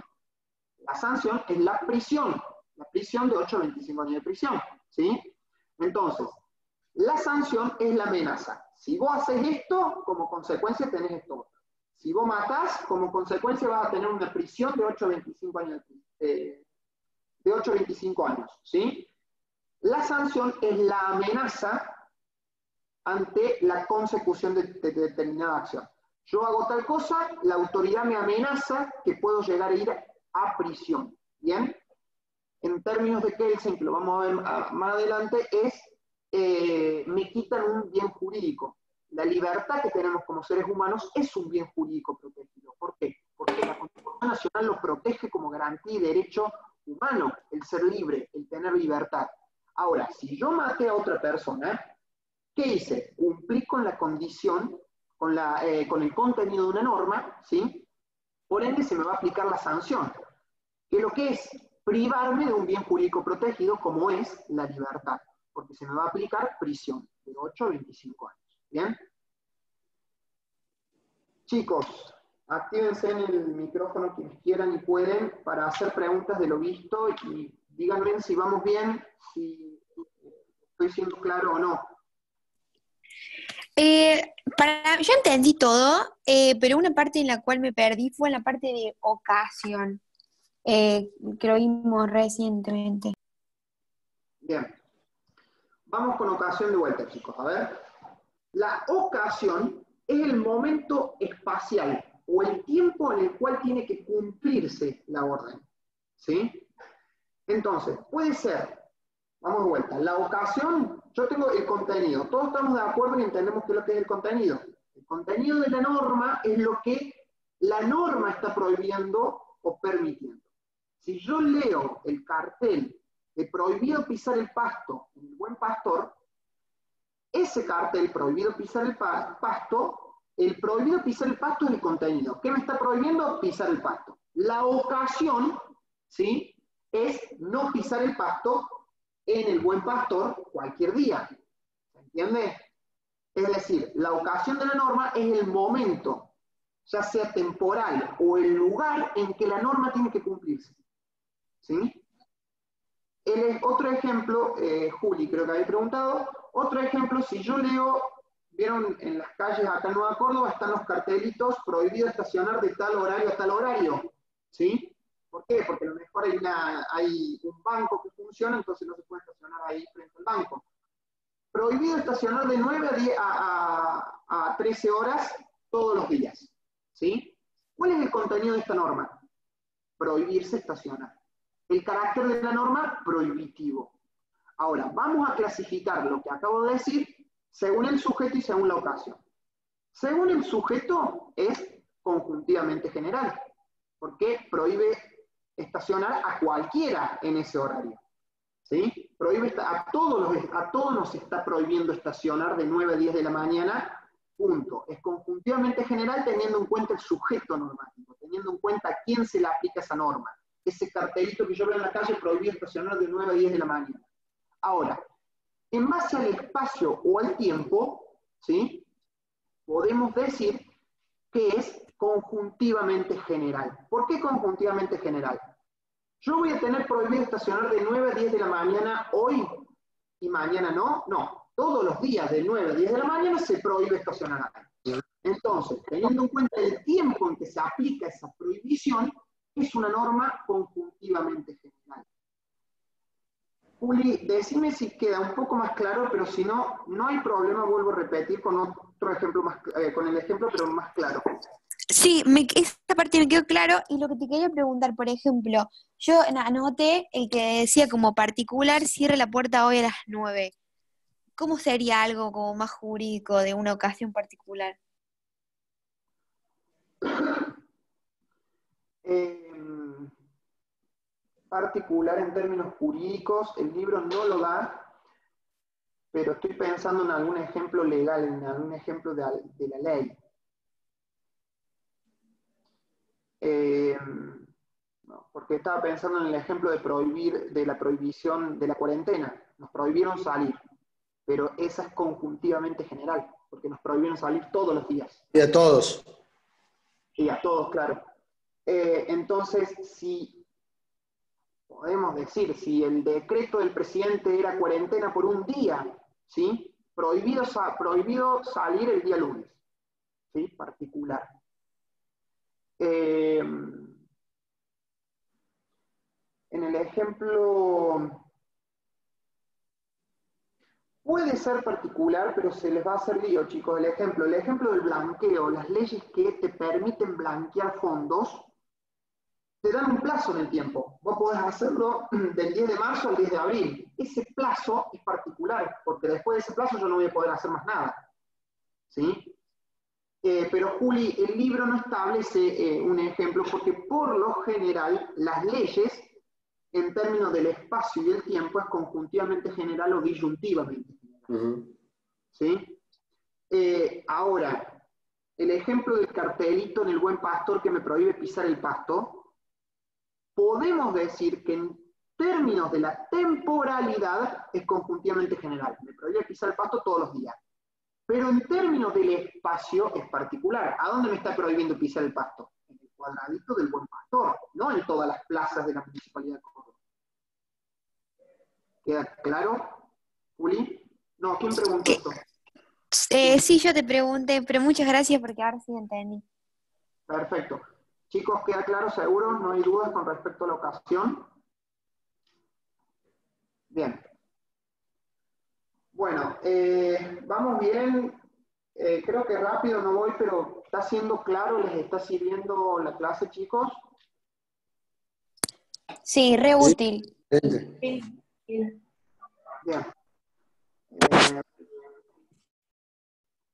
bueno, perfecto. Lo que vamos a hacer ahora es eh, una pausa de unos 5 o 10 minutos para que nos despejemos todos, así ustedes me pueden seguir porque lo que viene es Kelsen y Kelsen es más es complejo y para descansar yo también. Así que hacemos una pausa de unos 5 o 10 minutos más o menos y volvemos.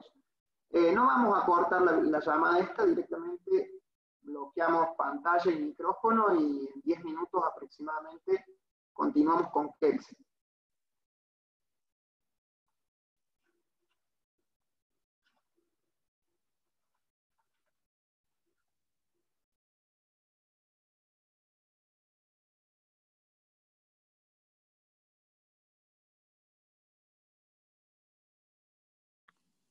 Mami, ¿me puedes preparar el agua?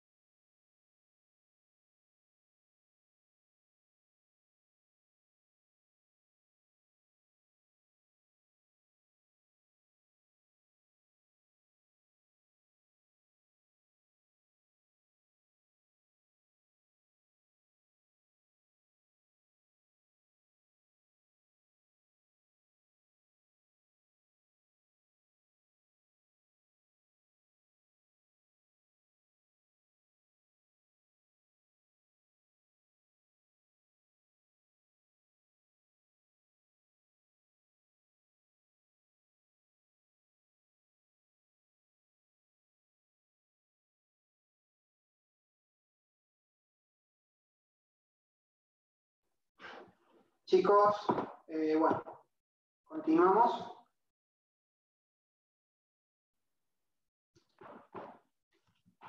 Em, bien, ahí les acabé de mandar eh, por el chat de esta videollamada el link. Eh, ustedes van a poder acceder a el Google Drive donde está cargado el PDF que estamos viendo, ¿sí? el PowerPoint en PDF.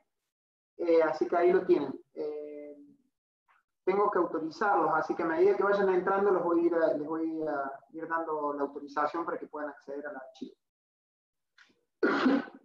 Bien. Eh, antes, bueno, de avanzar, chicos, ¿ustedes tuvieron teniendo clases con su profe o con qué profe tienen?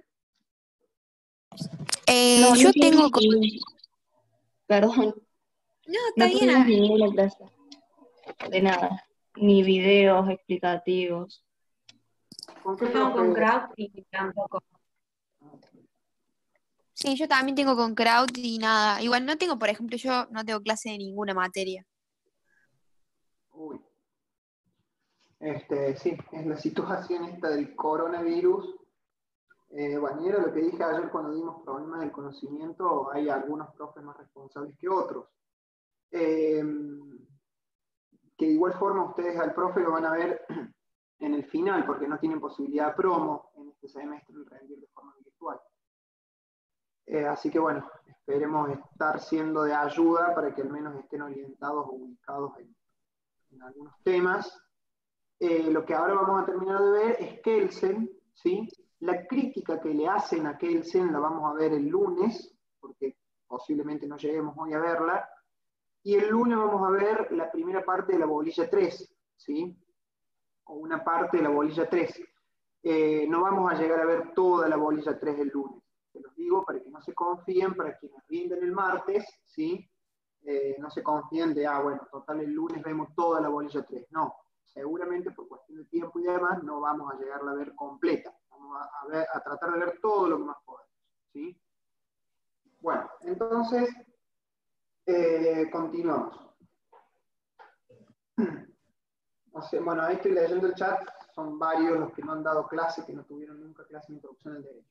E introducción al derecho y privado 1 son las dos materias más importantes del primer año, así que eh, ustedes que recién entran en la carrera, pónganle más énfasis o pilas, obvio que todas las materias, no tenemos nada que hacer más que estar encerrados en nuestras casas, eh, pero introducción al derecho para después poder seguir cursando el segundo semestre. Eh, y este, también después privado 1, porque privado tenemos 8 privados a lo largo de la carrera. Por eso está bueno ir aprobándolo para no retrasarse o no atrasarse en la carrera. Bien, continuamos entonces.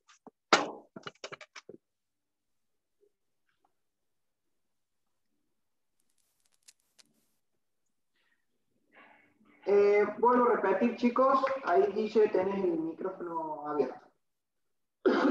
Perdón. Eh, chicos, acá ustedes del PowerPoint tienen ahí abajo mi número de teléfono, que está debajo de mi nombre. Eh, cualquier duda que tengan, vuelvo a repetir, me mandan, no hay ningún problema, mándenme un audio o un texto, pero con la captura de pantalla o foto de la página en la cual tengan la duda. ¿sí? En aquellas dudas que no les deje o no les continúe seguir leyendo, porque si voy a tener 80 dudas para responder, no voy a llegar, no voy a poder. Así que aquellas dudas troncales que tengan, me mandan, no hay ningún problema. Siempre y cuando no sea cuando estén rindiendo parcial. ¿sí? Voy a contestar todo lo que pueda antes, pero durante, mientras estén haciendo el parcial, no, por una cuestión ética, al parcial lo tienen que resolver ustedes y yo puedo decirles algo que después el profe lo considera mal y después va a ser mi culpa. Entonces, por eso mismo no voy a responder cuando estén haciendo el parcial. Eh, lo vuelvo a repetir por las dudas si hubo gente nueva que se agregó. Bien, entonces dijimos que, retomamos, dijimos que Nino, el autor que estamos estudiando en la introducción al derecho, este, trata o menciona dos autores principales. Nino menciona a Von Reich, que es todo lo que ya vimos la primera hora de esta clase, las primeras dos horas, y ahora lo que hace Nino es analizar cómo Kelsen considera las normas jurídicas, O mejor dicho, ¿qué considera normas jurídicas Kelsen? Por eso ahora vamos a ver lo que Hans Kelsen considera normas jurídicas. Paréntesis. Tienen suerte de que les haya tocado introducción al derecho con Nino. La otra cátedra que trabaja Martínez Paz, Martínez Paz es mm, no más complicado, pero eh, Nino es mucho más puntual y es mucho más útil a los efectos de la carrera porque es, positivista. Argentina, como país positivista, les va a servir mucho más Nino que Martínez Paz. Después Martínez Paz lo ven en la carrera en otras materias muy minuciosamente, eh, pero tienen la suerte de que les haya tocado Nino. Es mucho más llevadero y más puntual con los conceptos. Martínez Paz es mucho más amplio y, haga mucho. No quiero decir que sea malo el libro, está bueno, pero es más complejo. Bien, eh, esperen que me ubique en el PDF acá.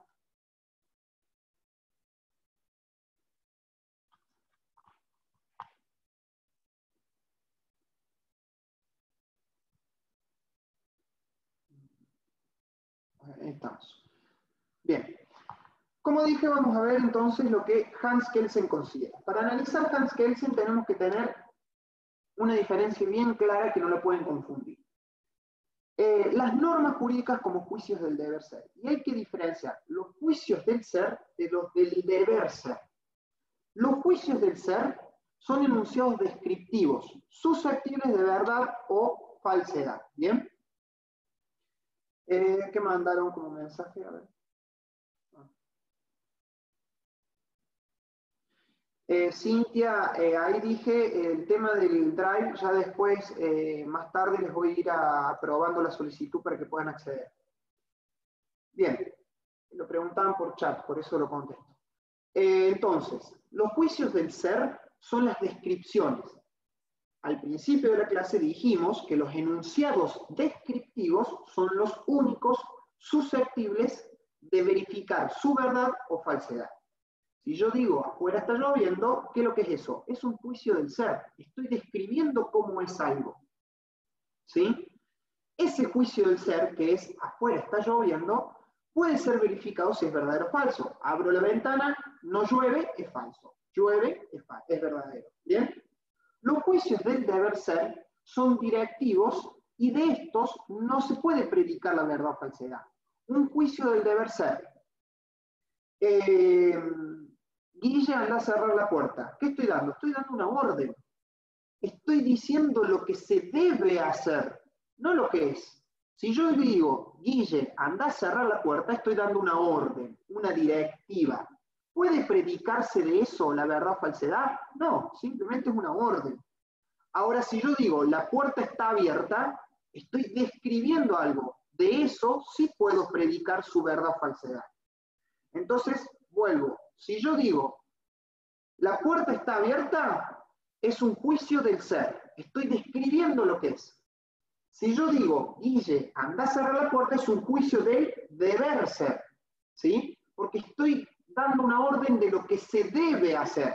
Guille puede o no cumplir con esa orden. ¿Bien? Entonces, tengamos bien en claro esto. Vamos con un ejemplo más, más técnico, más legal. Volvemos al ejemplo del Código Penal. El que matare a otro tendrá 8, de 8 a 25 años de prisión. Es una norma que prohíbe matar. ¿Sí? Esa norma, el que matare a, 8 tendrá, el que matare a otro perdón, tendrá de 8 a 25 años de, de prisión, es un juicio del deber ser. Me está diciendo que no debo matar. Ahora, ¿qué pasa en la realidad? ¿Hay homicidios? ¿Existen asesinatos? Sí. ¿Se entiende? Entonces, si yo leo una noticia de Clarín, en donde me dice que hay tantos homicidios por año, me está describiendo la cantidad de homicidios que hay, es un juicio del ser, me está explicando, contando la realidad. Si yo leo el código penal, en donde me dice que el que matare a otro tendrá de 8 a 25 años de prisión, es un juicio del deber ser. Me está estableciendo lo que debo o no debo hacer. En la realidad puede o no darse, porque puede que no mate o puedo matar y se me aplica prisión. ¿Bien? Se volvió a tildar. ¿Vamos bien, chicos? Sí. Sí. Sí, sí. Sí. Bueno, tienen que tener muy bien distinguido esto. Juicio del ser, juicio del deber ser. ¿Sí? Eh, lo que acá nos dice que Kelsen se niega a ver detrás de los juicios del deber ser, que llama normas, una voluntad real en sentido psicológico. ¿sí? A ver. Eh, ¿Se acuerdan que en parte Von Ray decía de que, vuelvo Von Ray, lo que vimos en la primera hora de la clase? Eh, nos decía que para que una norma sea prescriptiva, ¿qué tenía que tener? Una autoridad que la emane, una autoridad que la dicte, Congreso de la Nación. ¿Y qué es lo que tuvo el Congreso de la Nación al momento de dictarla? Voluntad de sancionar el homicidio, por ejemplo. ¿sí? Hay una voluntad. ¿Qué es lo que nos dice Kelsen? En los juicios del deber ser, no es que no, interesa la voluntad, ¿sí? Este concepto de voluntad, Kelsen lo denomina validez. ¿sí? Sustituye el concepto de voluntad por el de validez, ¿sí? Según Kelsen, la validez es la existencia específica de la norma y constituye su fuerza obligatoria. Que una norma tenga validez implica que esa norma va a tener una fuerza obligatoria, va a ser obligatoria, ya sea que me obligue a hacer algo o me obligue a no hacer algo, ¿sí? Las normas son juicios del deber ser, ya lo dijimos, y las órdenes son la expresión de la mera intención subjetiva de quien las formula. Acá el autor, Nino, lo que hace es distinguir un poco. Las normas son juicios del deber ser. del deber ser. El que matare a otro tendrá de 8 a 25 años de prisión. Si yo leo eso, es una norma del juicio, es una norma. Por ende, un juicio del deber ser. ¿sí? La orden, ¿cuál es? No matar. ¿sí? Es la mera intención subjetiva de quien la formula la orden va a ser no matar. ¿Sí? Ya vamos a ir puntualmente a esto. Y ahora el siguiente título que trata Nino es la estructura de las normas jurídicas según Kelsen. Vamos a tener que las normas, las leyes que nosotros leamos en cualquier código o lo que sea, constituyen técnicas de motivación social. ¿Por qué? ¿Qué es lo que es esto, técnica de motivación social? ¿Cuál es la finalidad de las leyes? Inducir a que las personas hagan o no tal o cual cosa. ¿sí?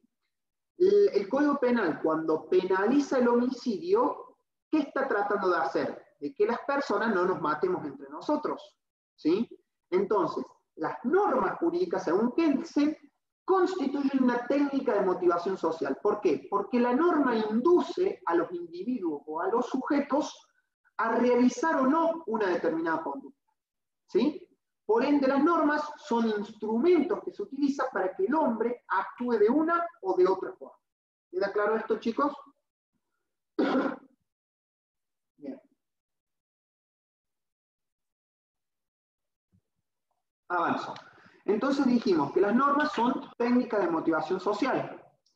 Podemos, tenemos técnicas de motivación directa e indirecta. ¿Sí? Se caracteriza la técnica de motivación directa porque las normas indican directamente la conducta deseable y se pretende motivar a la gente solamente por la autoridad o racionalidad de la propia norma. La motivación indirecta se pretende motivar a la gente, ¿sí? No estableciendo la conducta, sino estableciendo una sanción. ¿sí? A ver, si yo digo, eh, prohibido pisar el césped, Leemos eso en el cartel en una, en, el parque, en una plaza o en una parte del Parque Sarmiento. Prohibido pisar el césped. Es una motivación directa, porque directamente me está diciendo lo que está prohibido. ¿Está claro? Ahora, si yo digo, el que matare a otro tendrá de 8 a 25 años de prisión, ¿es directa? No, podemos decir que es indirecta. ¿Qué es lo que me prohíbe matar? Pero ¿puedo matar yo? Sí. No, a ver, voy a aclarar este concepto, tómenlo con pinzas. El que matara a otro tendrá 8 o 25 años de prisión. En realidad no me está prohibiendo matar. En ningún momento dice prohibido matar, sino que si yo mato, se aplica una sanción. Entonces, ¿qué eh, motivación está empleando esta norma? Una motivación indirecta. Vos haces lo que quieras, pero si haces o cometes determinada acción, tenés determinada consecuencia. Si matas, la consecuencia va a ser la prisión ir preso. ¿Bien? Entonces, vuelvo. Las normas son técnicas de motivación social.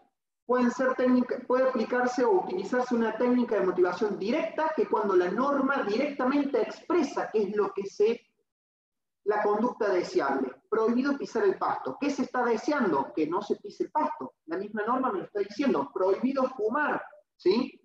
En cambio, la técnica de motivación indirecta, en el enunciado de la norma, cuando yo la lea, no me va a estar diciendo prohibido matar. Me va a establecer una conducta y si yo cometo esa acción, se aplica una determinada sanción o una determinada consecuencia. ¿Bien?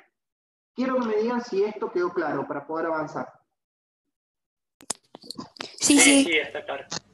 Sí, sí. Bien.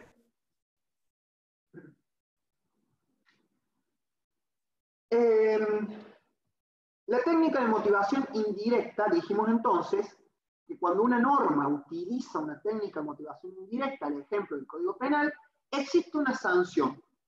¿Qué es la sanción jurídica según Kelsen? Un acto coercitivo a través del cual una autoridad competente me priva o me quita un bien jurídico protegido. Y esto ya hablé la, primera hora. De esto ya dijimos algo. Dijimos, el que matare a otro tendrá de 8 a 25 años de prisión. Si yo cometo el asesinato, ¿cuál es la sanción? La prisión. Ese acto coercitivo que la autoridad competente va a aplicar, el juez va a ordenar a que la policía me detenga y me van a llevar preso, ¿qué, me están afectando? La libertad. Entonces, la libertad como bien jurídico protegido, recordemos, bien jurídico protegido son estos bienes, libertad, vida, propiedad privada, etcétera, que la ley los protege. Nadie puede afectar mi libertad, ¿sí? Ahora, si un juez determina mi prisión porque maté a alguien, se va a estar afectando mi libertad y mi libertad es un bien jurídico protegido. Por eso entonces es que Kelsen dice, la sanción jurídica es un acto coercitivo, coercitivo porque se da mediante la fuerza, ¿sí? Que es ejercida por un individuo autorizado al efecto y como consecuencia de una conducta.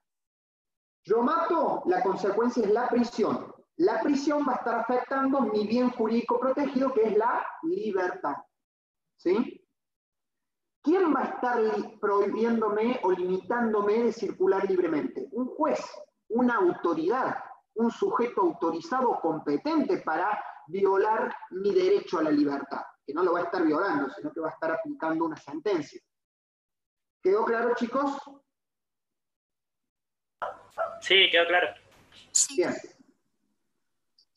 Eh, entonces, sanción jurídica, acto coercitivo. El acto coercitivo, a través de este acto coercitivo, se va a estar privando de un bien jurídico protegido a un individuo, la libertad, por ejemplo. Otro ejemplo, choco a alguien, ¿qué hace la policía? Me secuestra mi vehículo, se lo lleva a, se lo lleva a la comisaría el vehículo, lo secuestran.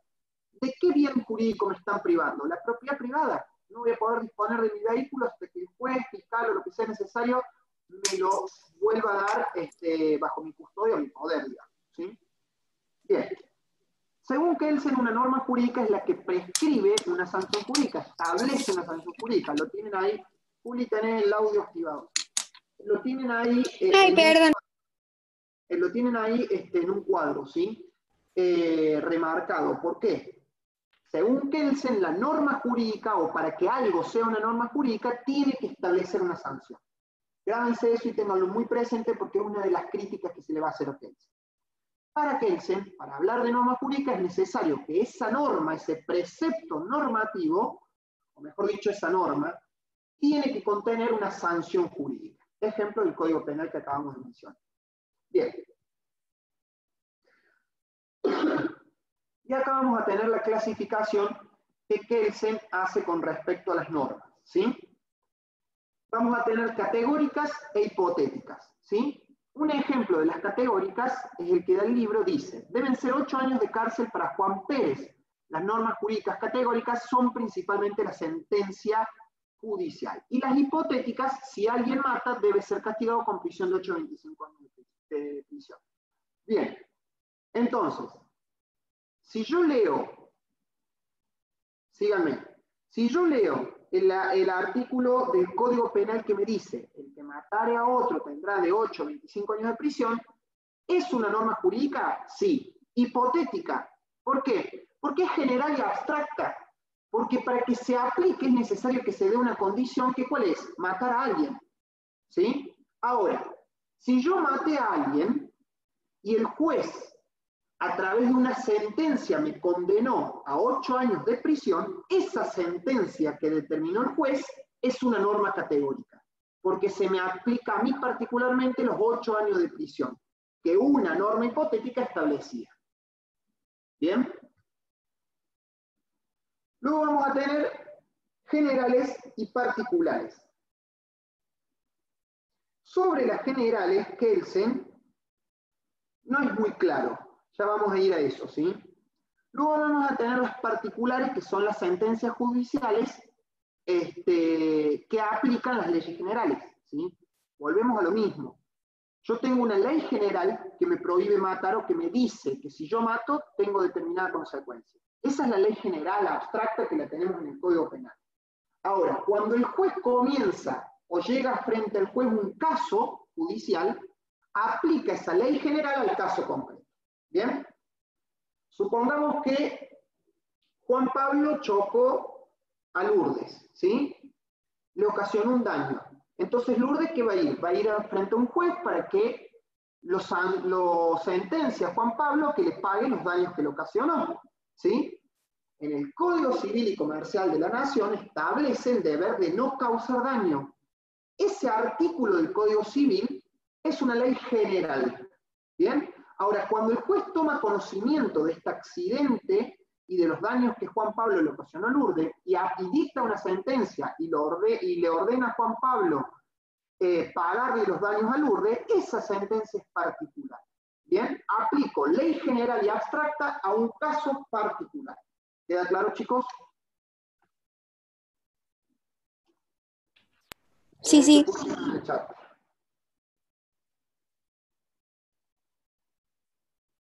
Bien. No me deja ver qué pusieron en el chat. Bien, las generales, ¿qué nos dice el libro?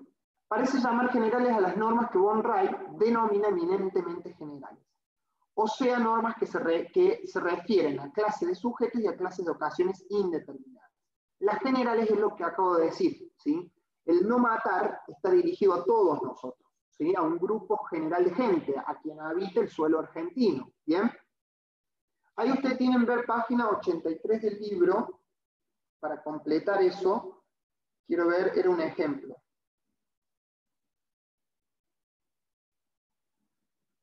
Bien, vean la página 83, 83 eh, del libro, ¿sí? Para completar, sobre todo párrafo 1, 2, 3, 4, 5. El párrafo quinto, sexto de la página 83, léanla desde el libro para completar esta diapositiva la leen, si tienen dudas y complicaciones me dicen, ¿sí? Para más vale avanzar sobre lo importante que continúa. Bien, otra clasificación que hace Kelsen, vamos a tener las normas jurídicas primarias y las normas jurídicas secundarias, ¿sí? Las primarias son las que prescriben, en ciertas condiciones o no, la privación a un sujeto de sus, de sus bienes por medio de la fuerza, ¿sí? Y las secundarias son meros derivados lógicos de las normas primarias, ¿sí? El sentido de las secundarias es explicar el derecho, ¿sí? Entonces, si yo digo, leo el artículo, leo el Código Penal que me dice, eh, el que cometiese hurto tendrá de tanto a tantos años de prisión, ¿sí? Eso que estoy leyendo en el Código Penal es una norma jurídica primaria. Me está prescribiendo y me está diciendo, me está dando una orden de que si yo cometo hurto, si robo, hurto, si yo cometo hurto, se me va a aplicar una determinada sanción. Ahora, eh, si yo les digo a ustedes, el artículo 80 del Código Penal dice que no se debe hurtar. Lo que acabo de decir es una norma jurídica secundaria, ¿sí? ¿Por qué? Porque estoy estableciendo lo que prohíbe hacer el artículo, ¿sí? Entonces, ahí ustedes tienen el cuadrito el ejemplo. Norma primaria, si alguien mata debe aplicársele prisión norma secundaria, la deducción lógica es se debe no matar. Vuelvo a un ejemplo que dije anteriormente. El Código Penal nos dice que matar a otro tendrá de 8 a 25 años de prisión. En ese enunciado, ¿está la palabra prohibido matar? No, el Código en ningún momento nos prohíbe matar.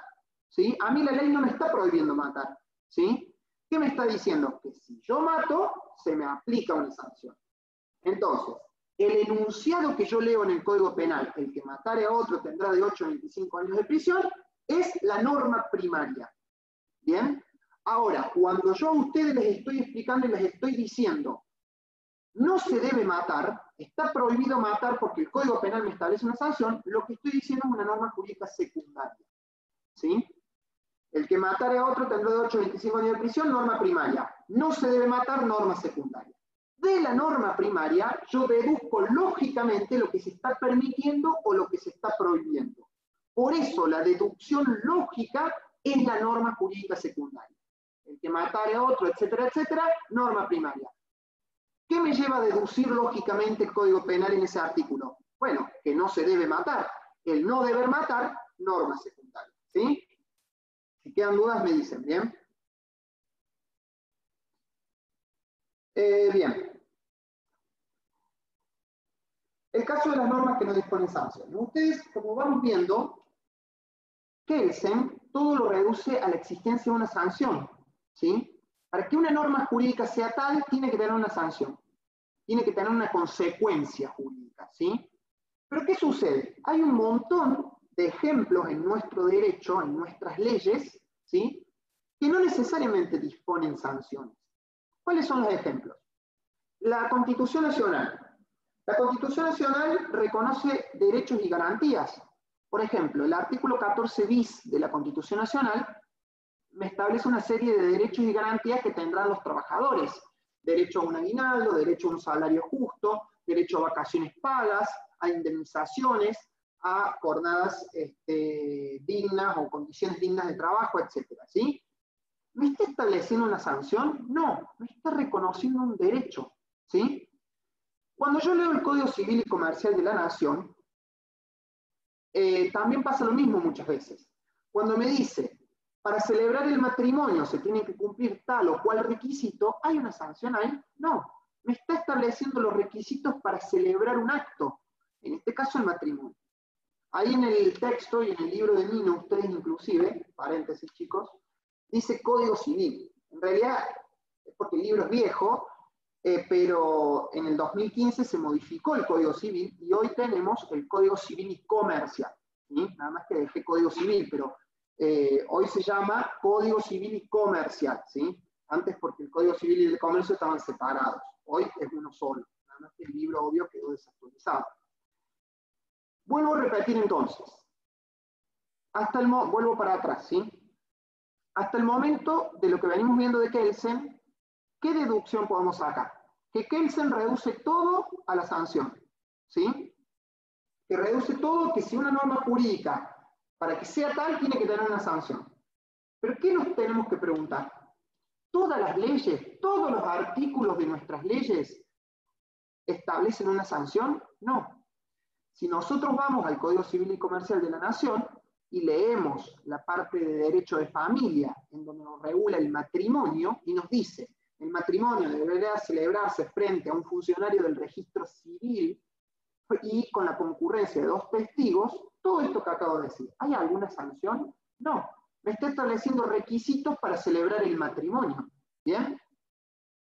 Según Kelsen, todos estos enunciados no son normas, sino partes de normas genuinas.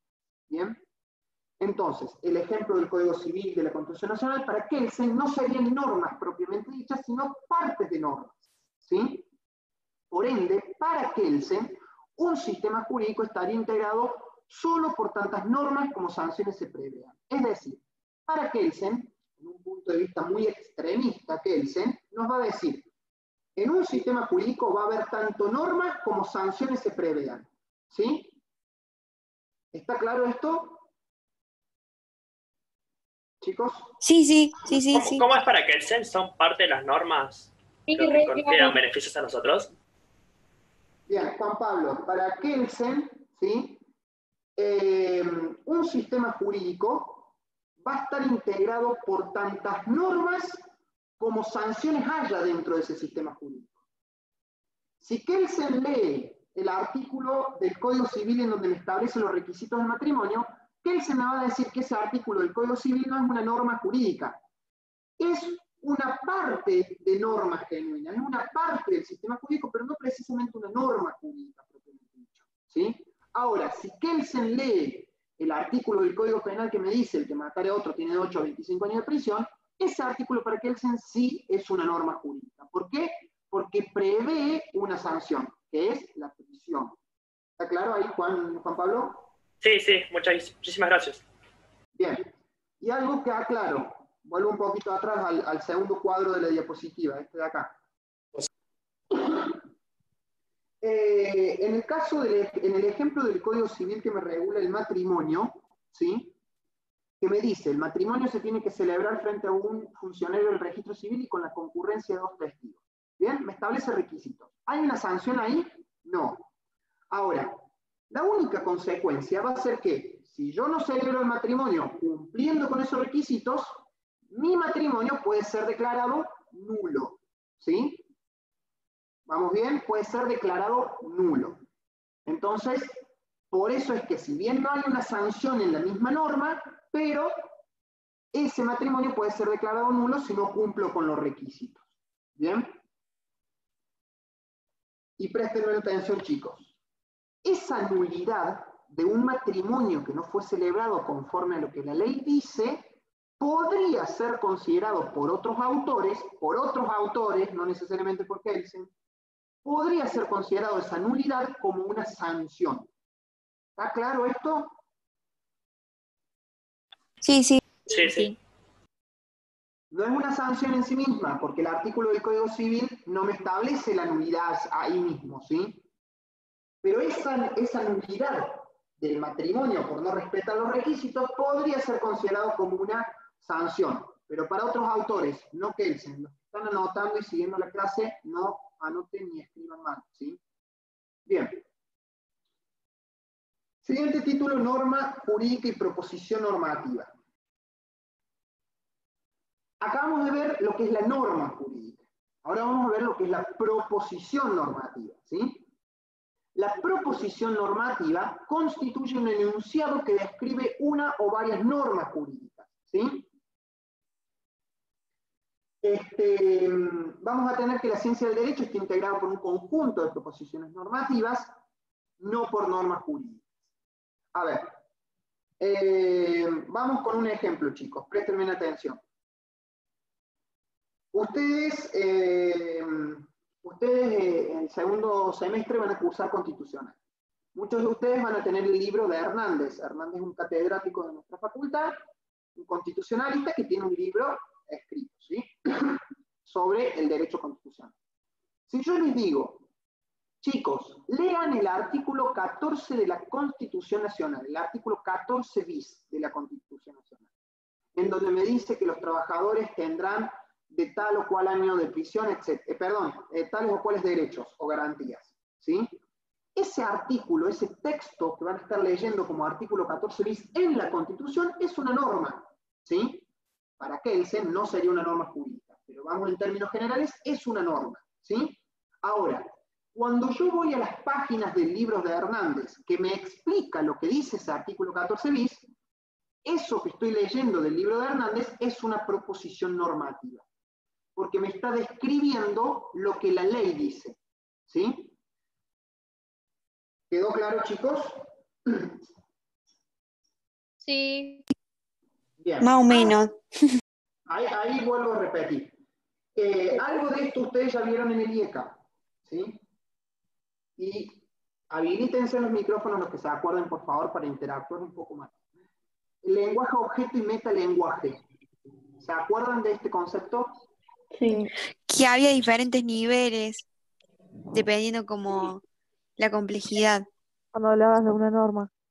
Si yo les digo, eh, artículo 14 b de la Constitución Nacional, ¿qué tipo de es lenguaje objeto o metalenguaje? Metalenguaje. Objeto. Objeto. Es lenguaje objeto. Ahora, si yo les digo, lean el párrafo quinto del libro de Hernández. Ese párrafo quinto, ¿qué es lo que es? Un párrafo Metalenguaje. del primer el párrafo o el libro de Hernández me va a estar explicando lo que el artículo 14 bis dice. Por ende, lo que Hernández está, está haciendo es describiendo lo que la ley dice. Lenguaje objeto, metalenguaje de primer nivel. Hagamos una comparación, síganme, ¿sí? El lenguaje objeto es lo que sería la norma jurídica. Norma jurídica acá en la pantalla, ¿sí? El metalenguaje de primer nivel es lo que sería proposición normativa. ¿Bien? Voy más fácil. La proposición normativa es el enunciado que me describe lo que la ley dice. ¿Sí? Si yo les digo, el que Juli creo que habías preguntado que no había entendido esto. Eh, Sí, sí. digo, el que matare a otro tendrá de 8 a 25 años de prisión. ¿Qué es lo que es eso? Código penal, norma jurídica. Ahora, si yo, Marcelo Bizarri, les digo, el artículo 80 del Código Penal establece prisión para quien mata. Esta frase que acabo de enunciar, ¿qué es lo que es? Una proposición normativa. Porque yo lo que estoy haciendo es explicar lo que la ley dice, lo que la norma jurídica dice. ¿Quedó más claro ahí, Juli? Claro, claro, es como una explicación, algo así. La proposición normativa describe lo que la, la- la norma jurídica dice. La- eh, esto tendría que tener un pizarrón para explicarlo, sería mucho más fácil. La Por ejemplo, algo así como si en un cartel dijera no pisar el pasto y alguien dice, el cartel dice que no hay que pisar el pasto. Perfecto. Cuando el cartel mismo que dice no pisar el pasto es la norma jurídica. ¿Sí? El que dice el cartel está diciendo tal cosa, es la pro- esa frase es la proposición normativa. Ahí me entendiste bien, Julio. Sí, sí, gracias. Bien. Las normas secundarias también serían entonces como metalenguaje, ¿no? Como una proposición, puede ser. ¿Sí? Bien, sí, sí. Eh, chicos, aclaro. La comparación que acabé de hacer con lenguaje objeto, metalenguaje, Kelsen ni lo nombra. Así que ustedes olvídenselo, es para que lo entiendan y para que lo relacionen con lo que acabaron de ver de Vieca. ¿sí? Pero en mi parcial no va, no lo nombren, porque Kelsen ni hace referencia a los niveles de lenguaje. ¿sí? Era para que ustedes lo relacionen, porque en el libro de Vieca había ejemplos con respecto a esto. Era para que hagan una relación. Lenguaje objeto, norma jurídica. Metalenguaje primer nivel, pos- proposición normativa. Pero si no, si se les hace lío, bórrense ese ejemplo. ¿Bien? En resumen, la norma jurídica, no pisar el, prohibido pisar el césped. ¿Bien? Norma jurídica, lo leo en el cartel. Proposición normativa, ¿sí? Yo les digo a ustedes, el cartel dice que no se puede pisar el césped. Esto que acabo de decir es la proposición normativa porque estoy describiendo lo que la ley dice, lo que el cartel dice. ¿sí? ¿Qué sucede? Lo que yo dije es una descripción. ¿Qué habíamos dicho de las descripciones? ¿Son susceptibles de ser verdaderas o falsas? Ven, ahí sí lo está sintiendo con la cabeza, así que lo tomo como respuesta. Eh, entonces, las proposiciones normativas son susceptibles de ser verdaderas o falsas. ¿Por qué? Porque describe lo que la norma o la ley dice. ¿Bien? Quiero que por favor me digan si hay dudas o no y si quedó claro para avanzar. Re claro, por lo menos para mí. Bien, perfecto. Entonces continuamos. Ah, Continuamos y terminamos. Bien. Eh, a ver. Hasta acá entonces estamos. Acá el autor Nino hace una referencia de una especie de conclusión con respecto a Kelsen. ¿sí? Em, la crítica de Kelsen la vamos a ver, el- la crítica a Kelsen la vamos a ver el lunes. ¿bien? ¿Qué nos dice eh, Nino con respecto a todo lo que recién dijimos de Kelsen? Nosotros lo que acabamos de ver es lo que entiende Kelsen como norma jurídica. Ahora vamos a ver qué nos dice Nino. ¿sí? Nino dice, Kelsen remarca esta distinción, pero a pesar, perdón, eh, esta distinción entre norma jurídica y proposición normativa. Kelsen remarca la distinción entre norma jurídica y proposición normativa. Norma jurídica, la ley escrita tal cual la leo en el Código Penal. Proposición normativa, eh, el libro, el autor que me está explicando qué es lo que dice el código. ¿Sí? Entonces, para que entiendan esto, tienen que tener en claro qué es lo que es una norma jurídica y una proposición normativa. Doy por hecho de que está entendido. Tienen dudas, me cortan. ¿Sí? ¿Qué nos dice Kelsen? sostiene que las proposiciones normativas, igual que las normas jurídicas, son juicios del deber ser, aunque puramente descriptivos.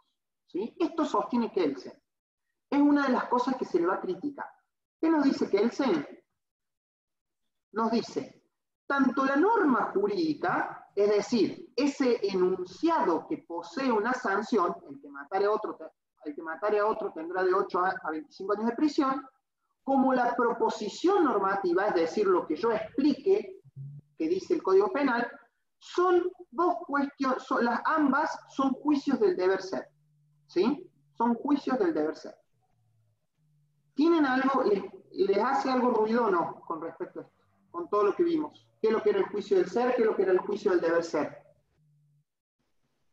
Sí, porque el juicio del, del ser él dijo que eran descriptivos y acá está diciendo que los dos son frescos, son... o sea, Directivos. son-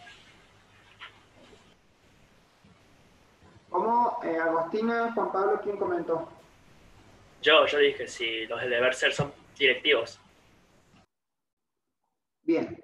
Entonces, acá, eh, ojo que Kelsen aclara. Ambos son juicios del deber ser, aunque puramente descriptivo, ¿sí? Puramente descriptivo la posición normativa. Pero ¿qué sucede? El juicio del ser, del deber ser, perdón, que me establece cómo deben ser las cosas, ¿sí? Lo podemos asimilar bien a una ley. Cuando la ley me dice que matar a otro tendrá de 8 a 25 años de prisión, ¿por qué? Porque me está estableciendo que no debo matar. Ahora, si yo me pongo a describir lo que la norma dice, no es un juicio del deber ser, sería más bien un juicio del ser. Estoy describiendo lo que es en la realidad, de lo cual ustedes pueden decir si es verdadero o falso. ¿Me siguieron, chicos? que sí era lo que yo quería decir. Sí, hago, e- era lo que vos me habías dicho, está bien. Entonces, Kelsen, a pesar de esto, considera normas jurídicas y eh, proposiciones normativas, ambas son juicios del deber ser, lo cual, para muchos autores, esto es incorrecto. Tengan presente eso. Eso es lo que considera Kelsen. Otros autores lo criticarán. ¿Qué nos dice Nino? Quizás esté provocado por el hecho de que a veces también en las proposiciones normativas se usan operadores deónticos, aunque con un sentido diferente, un sentido descriptivo y no prescriptivo. A ver, vamos con un ejemplo, ¿sí? Eh, el cartel prohibido estacionar. Va una persona y se estaciona ahí, ¿sí? Porque no sabe, porque eh, no habla español y está en Argentina, no sabe leer el español. ¿Bien? Voy yo y le explico al que se estacionó, mire señor, usted no puede estacionarse acá porque está prohibido. ¿Bien? Ese cartel es un juicio del deber ser porque es una norma jurídica. Lo que yo le comuniqué o le informé al conductor, ¿sí? Si bien tiene características similares porque le estoy diciendo lo que está prohibido, que es estacionarse ahí, ¿sí? Pero la función es descriptiva, porque lo que estoy haciendo es describir lo que el cartel dice, ¿sí? Por eso Nino nos dice de alguna u otra forma que lo que Kelsen sostiene de que tanto la norma jurídica como la proposición normativa son juicios del deber ser, es incorrecto, o podría decirse que está errado. ¿Quedó claro, chicos, o se hace lío? Porque acá la conclusión que da Nino es un poco confusa si no entendimos bien los conceptos que dimos previos. Quedó clarísimo. Bien. Eh, ¿Qué nos continúa diciendo? Pero sin embargo, la posición de Kelsen no se justifica, pues según su propia teoría, la distinción entre juicios del deber ser y juicios de ser no depende de las palabras que se usen, sino de la fuerza prescriptiva o descriptiva de la oración. Justamente lo que dice Nino, eh, acá Kelsen se, eh, se enrieda con lo que él mismo dice, ¿sí? Porque Kelsen dice, el juicio del deber ser y el juicio del ser no depende del tipo de palabra que yo use, sino de la función prescriptiva o descriptiva. Juicio del ser, función descriptiva. Juicio del deber ser, función prescriptiva o directiva. ¿Sí? Vamos al ejemplo del conductor que se estaciona mal.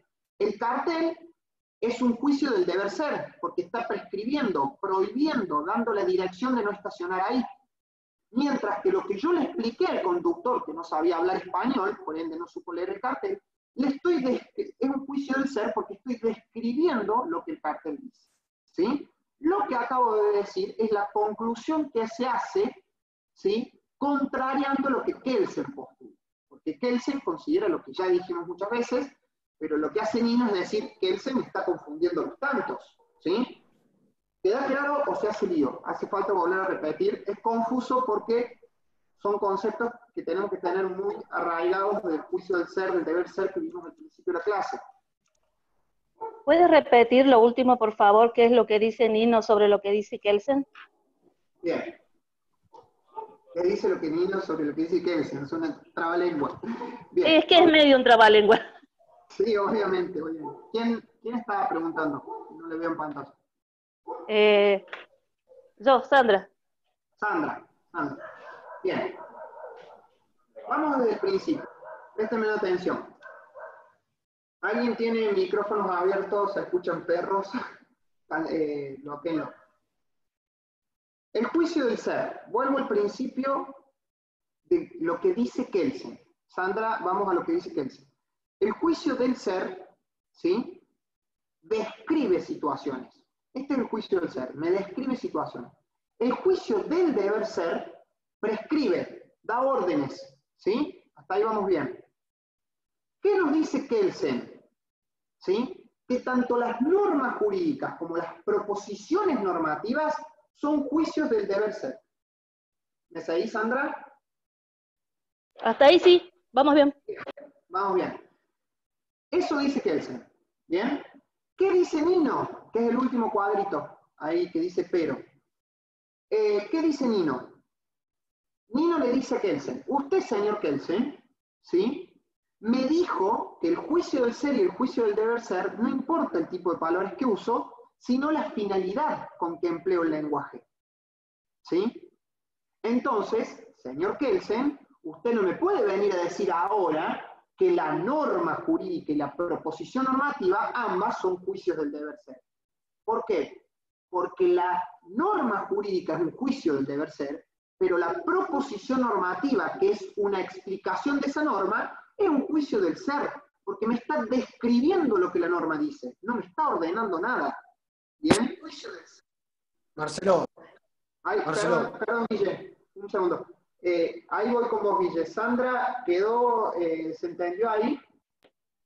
Sí, sí, voy entendiendo. Gracias. Ahí volvemos a repetir si es necesario. Guille, sí.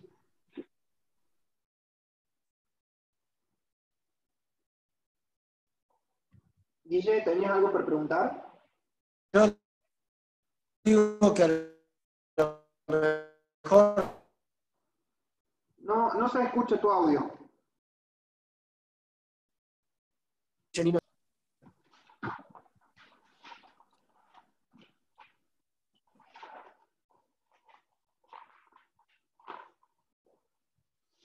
Eh, se cortó Guille, no, no se escuchó lo que...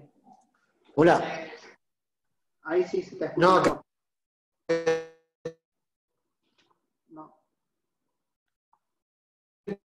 Diciendo si debe ser lo que le dice Nino, que uno tiene sanción y el otro no. Perdón, no, no se escuchó, Guille, se corta. Marcelo. Sí, Sofi. A mí se lo corta, que déjame que te lo escriba me confunde un poco es que, o sea, él primero al principio diferencia la norma jurídica de la proposición normativa. Y ahora está poniéndolos en igualdad, de que son los dos juicios de debe ser y que son descriptivos. Y anteriormente dice que uno es descriptivo, el otro es prescriptivo. Sí, que son las diferencias. Por eso mismo, Sofía, ahí voy con vos y Guille manda la pregunta escrita. Kelsen diferencia lo que es la norma jurídica y la proposición normativa. No dice que es lo mismo. Lo que dice es que ambas son un juicio del deber ser. Y ahí es cuando Nino dice, que Kelsen está errado. ¿Se entiende, Sofía? Ah, perfecto, perfecto, sí. Sí, sí, abre. Ahí lo estoy haciendo, como no tenemos pizarrón, un cuadro en papel, ¿sí? Para que me entiendan mejor lo que estoy diciendo. Marcelo, tengo una pregunta Ahora, Santiago. Sí, Santi. ¿Por qué Kelsen dice que son juicios del deber ser? O sea, ¿con qué fundamento lo dice? Sí. Porque muchas veces en este, en este uso del lenguaje puedo estar utilizando la palabra obligar, prohibir o permitir. En el ejemplo en el del conductor del auto, que yo le digo, acá está prohibido manejar, perdón, estacionar, ¿sí? Usé la palabra prohibido, ¿bien? Entonces, para Kelsen, lo que yo describí del cartel es, eh, si bien es una proposición normativa, pero es un juicio del deber ser, porque usé la palabra prohibido. Y es eso particularmente lo que critica Nino. Nino le dice, usted, señor Kelsen, me dijo que las palabras no tienen nada que ver. Por eso ahora viene a confundir las cosas. Ahí, Santi, lo vamos a aclarar mejor con, el cuadro que estoy haciendo escrito, ¿sí? Dale, genial, gracias. Aguántenme un segundo que lo escribo acá y se los muestro.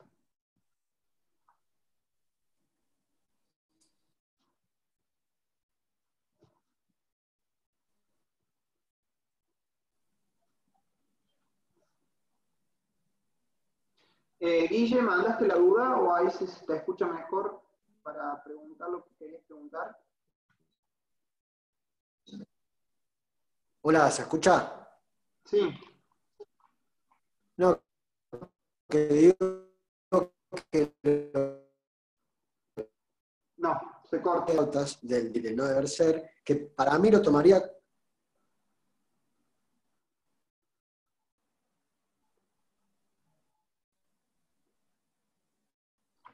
Em, Hola. La Sí, pregunta, porque se corta.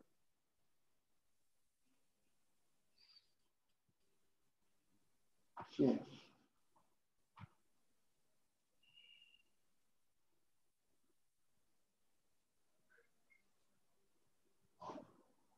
Aguántenme un segundo que les muestro el cuadro.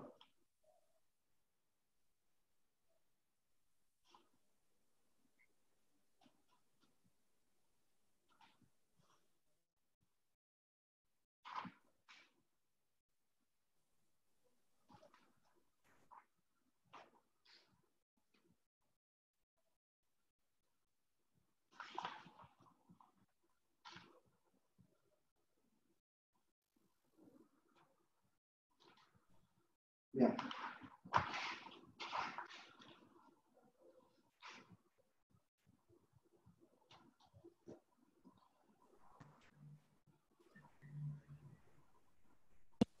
Marcelo pregunta, yo tengo una duda, eh, ¿a qué hace referencia cuando dice fuerza prescriptiva? O sea, la palabra fuerza. ¿En dónde, Juli? En la definición, viste, dice, mm, no depende de las palabras que se usen, sino de la fuerza prescriptiva o directiva de la oración. Del sentido de la oración, podemos decir. Del sentido que tiene la oración. Si el sentido es prescribir, dar una orden o describir algo. Ah, listo, gracias. No hace referencia a fuerza coercitiva, fuerza. No, hace referencia al sentido de la oración. Ahí termino, chicos, les, les muestro esto, ¿sí?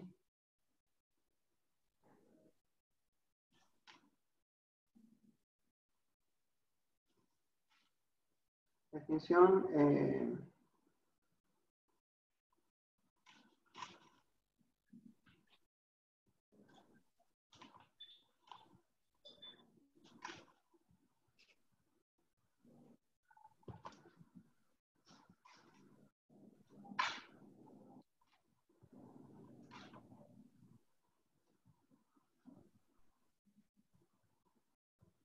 Bien, disculpen, el tema es que no, como no hay pizarrón, a ver.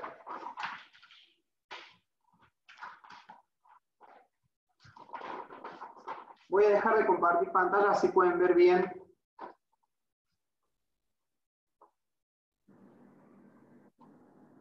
Eh, ahí, Guille, eh, leí tu pregunta, que lo que lo hace diferente a una sanción. Sí, porque Kelsen sigue sosteniendo que son diferentes. Ahí vamos a aclarar, a ver. Síganme, ¿sí? Yo tengo, vuelvo atrás, vuelvo todo atrás. ¿Ven bien ahí el cuadro, la hoja? Sí, se ve bien. Sí. Yo tengo el juicio del ser, cuya función es describir la realidad. Me describe si afuera llueve o no. ¿Listo? Juicio del deber ser me prescribe, me da una orden, me da una directiva, prohibido pisar el césped. ¿Sí? Punto. Ahora, avanzamos con el contenido y llegamos a ver lo siguiente. Kelsen diferencia la norma jurídica de la proposición normativa. ¿sí? La norma jurídica es la ley, el artículo 14 bis de la Constitución Nacional, el artículo del Código Penal que, que dice que el que matare a otro tendrá de 8 a 25 años de prisión.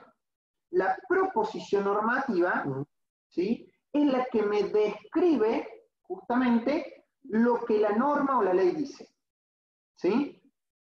Pero según Nino, ¿en qué le erra Kelsen? En lo siguiente. Kelsen dice que tanto la norma jurídica como la proposición normativa son juicios del deber ser. ¿Qué le dice Nino? Yo soy Nino, ¿sí? ¿Qué le dice Nino? ¿Cómo, señor Kelsen? ¿No me dijo usted, ¿sí?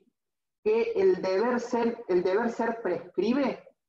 ¿No era que las proposiciones normativas describen? ¿Me siguieron? No. Sí. ¿Todos? Sí, que una lleva sanción y la otra no. ¿Cómo? ¿Hay alguien que quiere preguntar?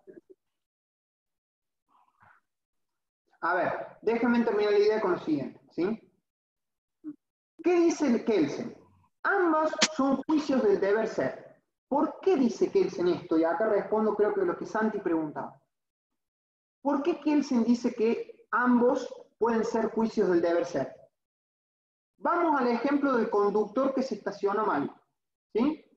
Yo le expliqué, usted no se puede estacionar acá.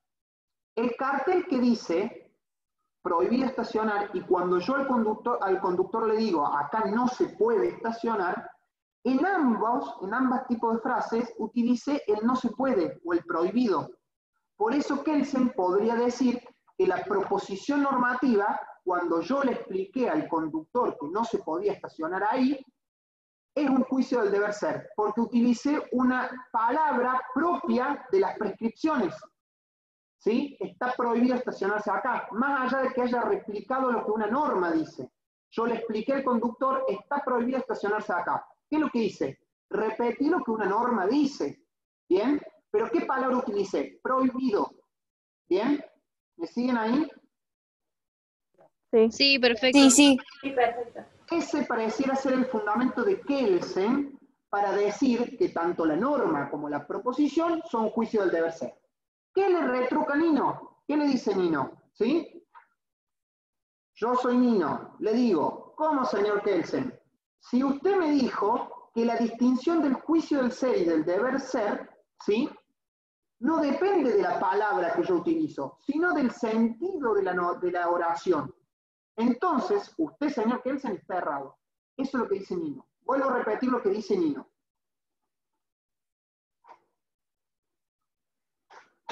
Vuelvo atrás.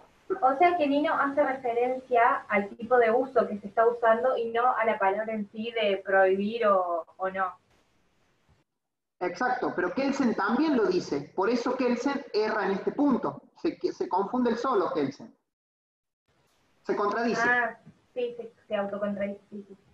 Bien, a ver, vuelvo, vuelvo chicos. Kelsen me dice, norma y proposición, juicio del deber ser. ¿Por qué Kelsen dice esto? Porque tanto en la norma como en muchas ocasiones en las proposiciones se utilizan las mismas palabras. Prohibido, por ejemplo. Cartel, prohibido estacionar. Yo le explico al conductor, acá está prohibido estacionar. Estoy utilizando el mismo lenguaje o la misma palabra, ¿sí? Entonces, para Kelsen, ambos se aplica el juicio del deber ser. ¿Qué dice Nino? Nino le dice a Kelsen, no, señor Kelsen, usted me dijo que el juicio del ser y el deber ser no se distinguen por la palabra que yo use, sino por el sentido de la oración, por la función de la oración. Y vuelvo atrás. La norma jurídica tiene una función prescriptiva, por ende, juicio del deber ser. La proposición normativa tiene una función descriptiva porque describe lo que la norma dice. Por ende, juicio del ser. Esto es lo que dice Nino. Le retruca a Kelsen. Usted, Kelsen, se confunde. Me dijo que el juicio del ser y el deber ser no se distinguen por el uso de las palabras, sino más bien por la función que tiene el lenguaje. ¿Queda claro, chicos, ahí? ¿O se hizo lío? Mucho mejor con el cuadro. ese. Sí, mortal. Bien. Por eso hay cosas que son necesarias en el pizarrón, este, pero bueno, por esta modalidad no podemos, no podemos, pero porque de hecho si pusiera uno atrás no sé si se vería bien. Eh, ¿Están seguros de que quedó mejor? Sí, muy claro, de verdad. Po- ¿Podemos hacer un segundo más el cuadro en el final? Bien. Cuando habla de Nino. Ahí, le- ahí les mando una foto en el grupo WhatsApp. Si les interesa, yo, yo grabé la pantalla de toda la explicación ah, bueno, última. yo no me de hacer esto, bueno.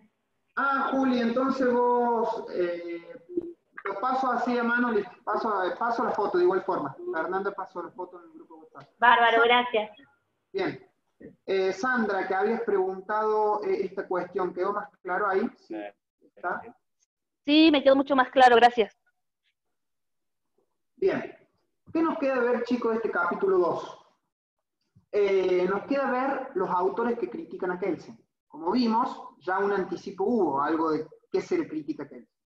Vimos qué es lo que considera von Ray como norma jurídica, qué es lo que considera Kelsen como norma jurídica. Lo que nos queda de ver, ¿sí? Es los autores que critican a Kelsen, ¿sí? Ahí vamos a tener a Hart, sobre todo, pero esa crítica la vamos a ver directamente desde el libro de Nino el lunes, lo vamos a terminar de ver. Hoy, eh, bueno, son cuatro y media, cinco y media, seis y media, siete y media. Sí, tres horas de clase vimos ya bastante porque nos queda muy poco de la bolilla 2, queda solo la crítica y que ustedes entendiendo qué es lo que dice Kelsen van a poder mejor entender qué le critican a Kelsen. Está bueno que ustedes estudien ahora lo de Kelsen para que el lunes entiendan qué se le critica a Kelsen. Eh, bien, el lunes posiblemente entre, va a ser a las 4 o a las 6 de la tarde, ¿sí? 4 o 6 de la tarde, eh, y vamos a terminar de ver bolilla 2 y parte de la bolilla 3. Esperemos verla toda la 3, pero no creo, ¿sí? No vamos a llegar con el tiempo. Eh, bien, ¿tienen alguna duda además? ¿Les sirvió? ¿Estuvo claro, chicos? Sí, recontra sirvió, boludo. Sí, muy claro, gracias. Bien. Sí, todo clarísimo, gracias. La Sí, muy no la buena. Yo ahora. Sí, muy claro. La verdad que me sirvió muchísimo. Ya que no Bueno. tenemos clase, con tu explicación fue muy útil. ¿Esta clase queda grabada acá? No sé, Sandra, eso pregúntale a los chicos de la franja, a Flor o a Damián. Eh, Sí, no sí, está grabada. Ah, perfecto. Bien, porque me incorporé tarde, yo no sabía, gracias. Sí, yo la voy a bajar ahora y la voy a pasar por los grupos. Gracias, gracias. Consideraciones, chicos, a tener en cuenta. Eh, si el parcial es a desarrollar, ¿sí? Vuelvo a repetir por si hubo gente que se agregó. Eh, los ejemplos que yo doy ahora en esta clase, eh, todos los ejemplos son personales. Hay muchos que no tuvieron clase, ese es el tema. Entonces, si el parcial es a desarrollar, limítense a usar los ejemplos que da el libro de niño, ¿sí? Todos los ejemplos que ustedes tomaron nota ahora son personales y a lo mejor otro profe los considera mal. O otro profe dice un ejemplo que para mí ese ejemplo no es lo que está diciendo, ¿se entiende? Esto le va a servir para toda la carrera, porque por ahí si ustedes después se hacen preparar en otra academia o lo que sea, eh, muchas veces los profes dan ejemplos y el profe que te corrige el parcial lo considera mal. Porque son ejemplos, los ejemplos son personales. Como es a desarrollar, limítense a utilizar los ejemplos que están en el libro. ¿Sí? Los ejemplos que doy son para que ustedes entiendan mejor.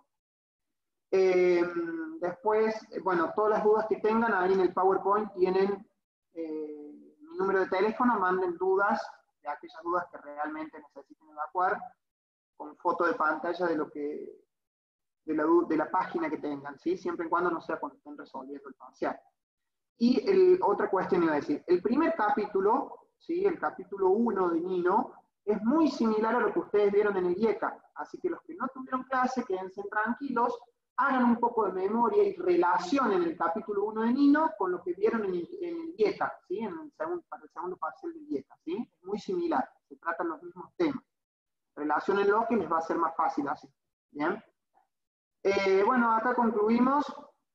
Hacemos el lunes, ya después avisamos el horario, si 4 o 6 de la tarde, terminamos bolilla 2 y hacemos parte de la bolilla 3. Así que bueno, gracias a los chicos de, de Franja Morada, eh, bueno, por tenerme en cuenta y demás, y bueno, y gracias a ustedes chicos por escucharme, el respeto y todo, y, y la paciencia. Muchas gracias. No, gracias a vos, nos salvas. Gracias. Gracias. Muchas gracias, muchas gracias. Bueno chicos, del lunes también la, la graban, ¿no es cierto? Porque si es a las 6 yo entro a trabajar esa hora y no voy a poder estar. Sí, Sí, sí, va a estar grabada. Se graba, bueno, de bien. están grabadas. Bárbaro, muchísimas gracias. bueno chicos, eh, que anden bien, éxitos y estudien bien, así el lunes podemos seguir viendo lo que queda de la bolilla 2. ¿Sí? Muchas gracias. Chao chicos.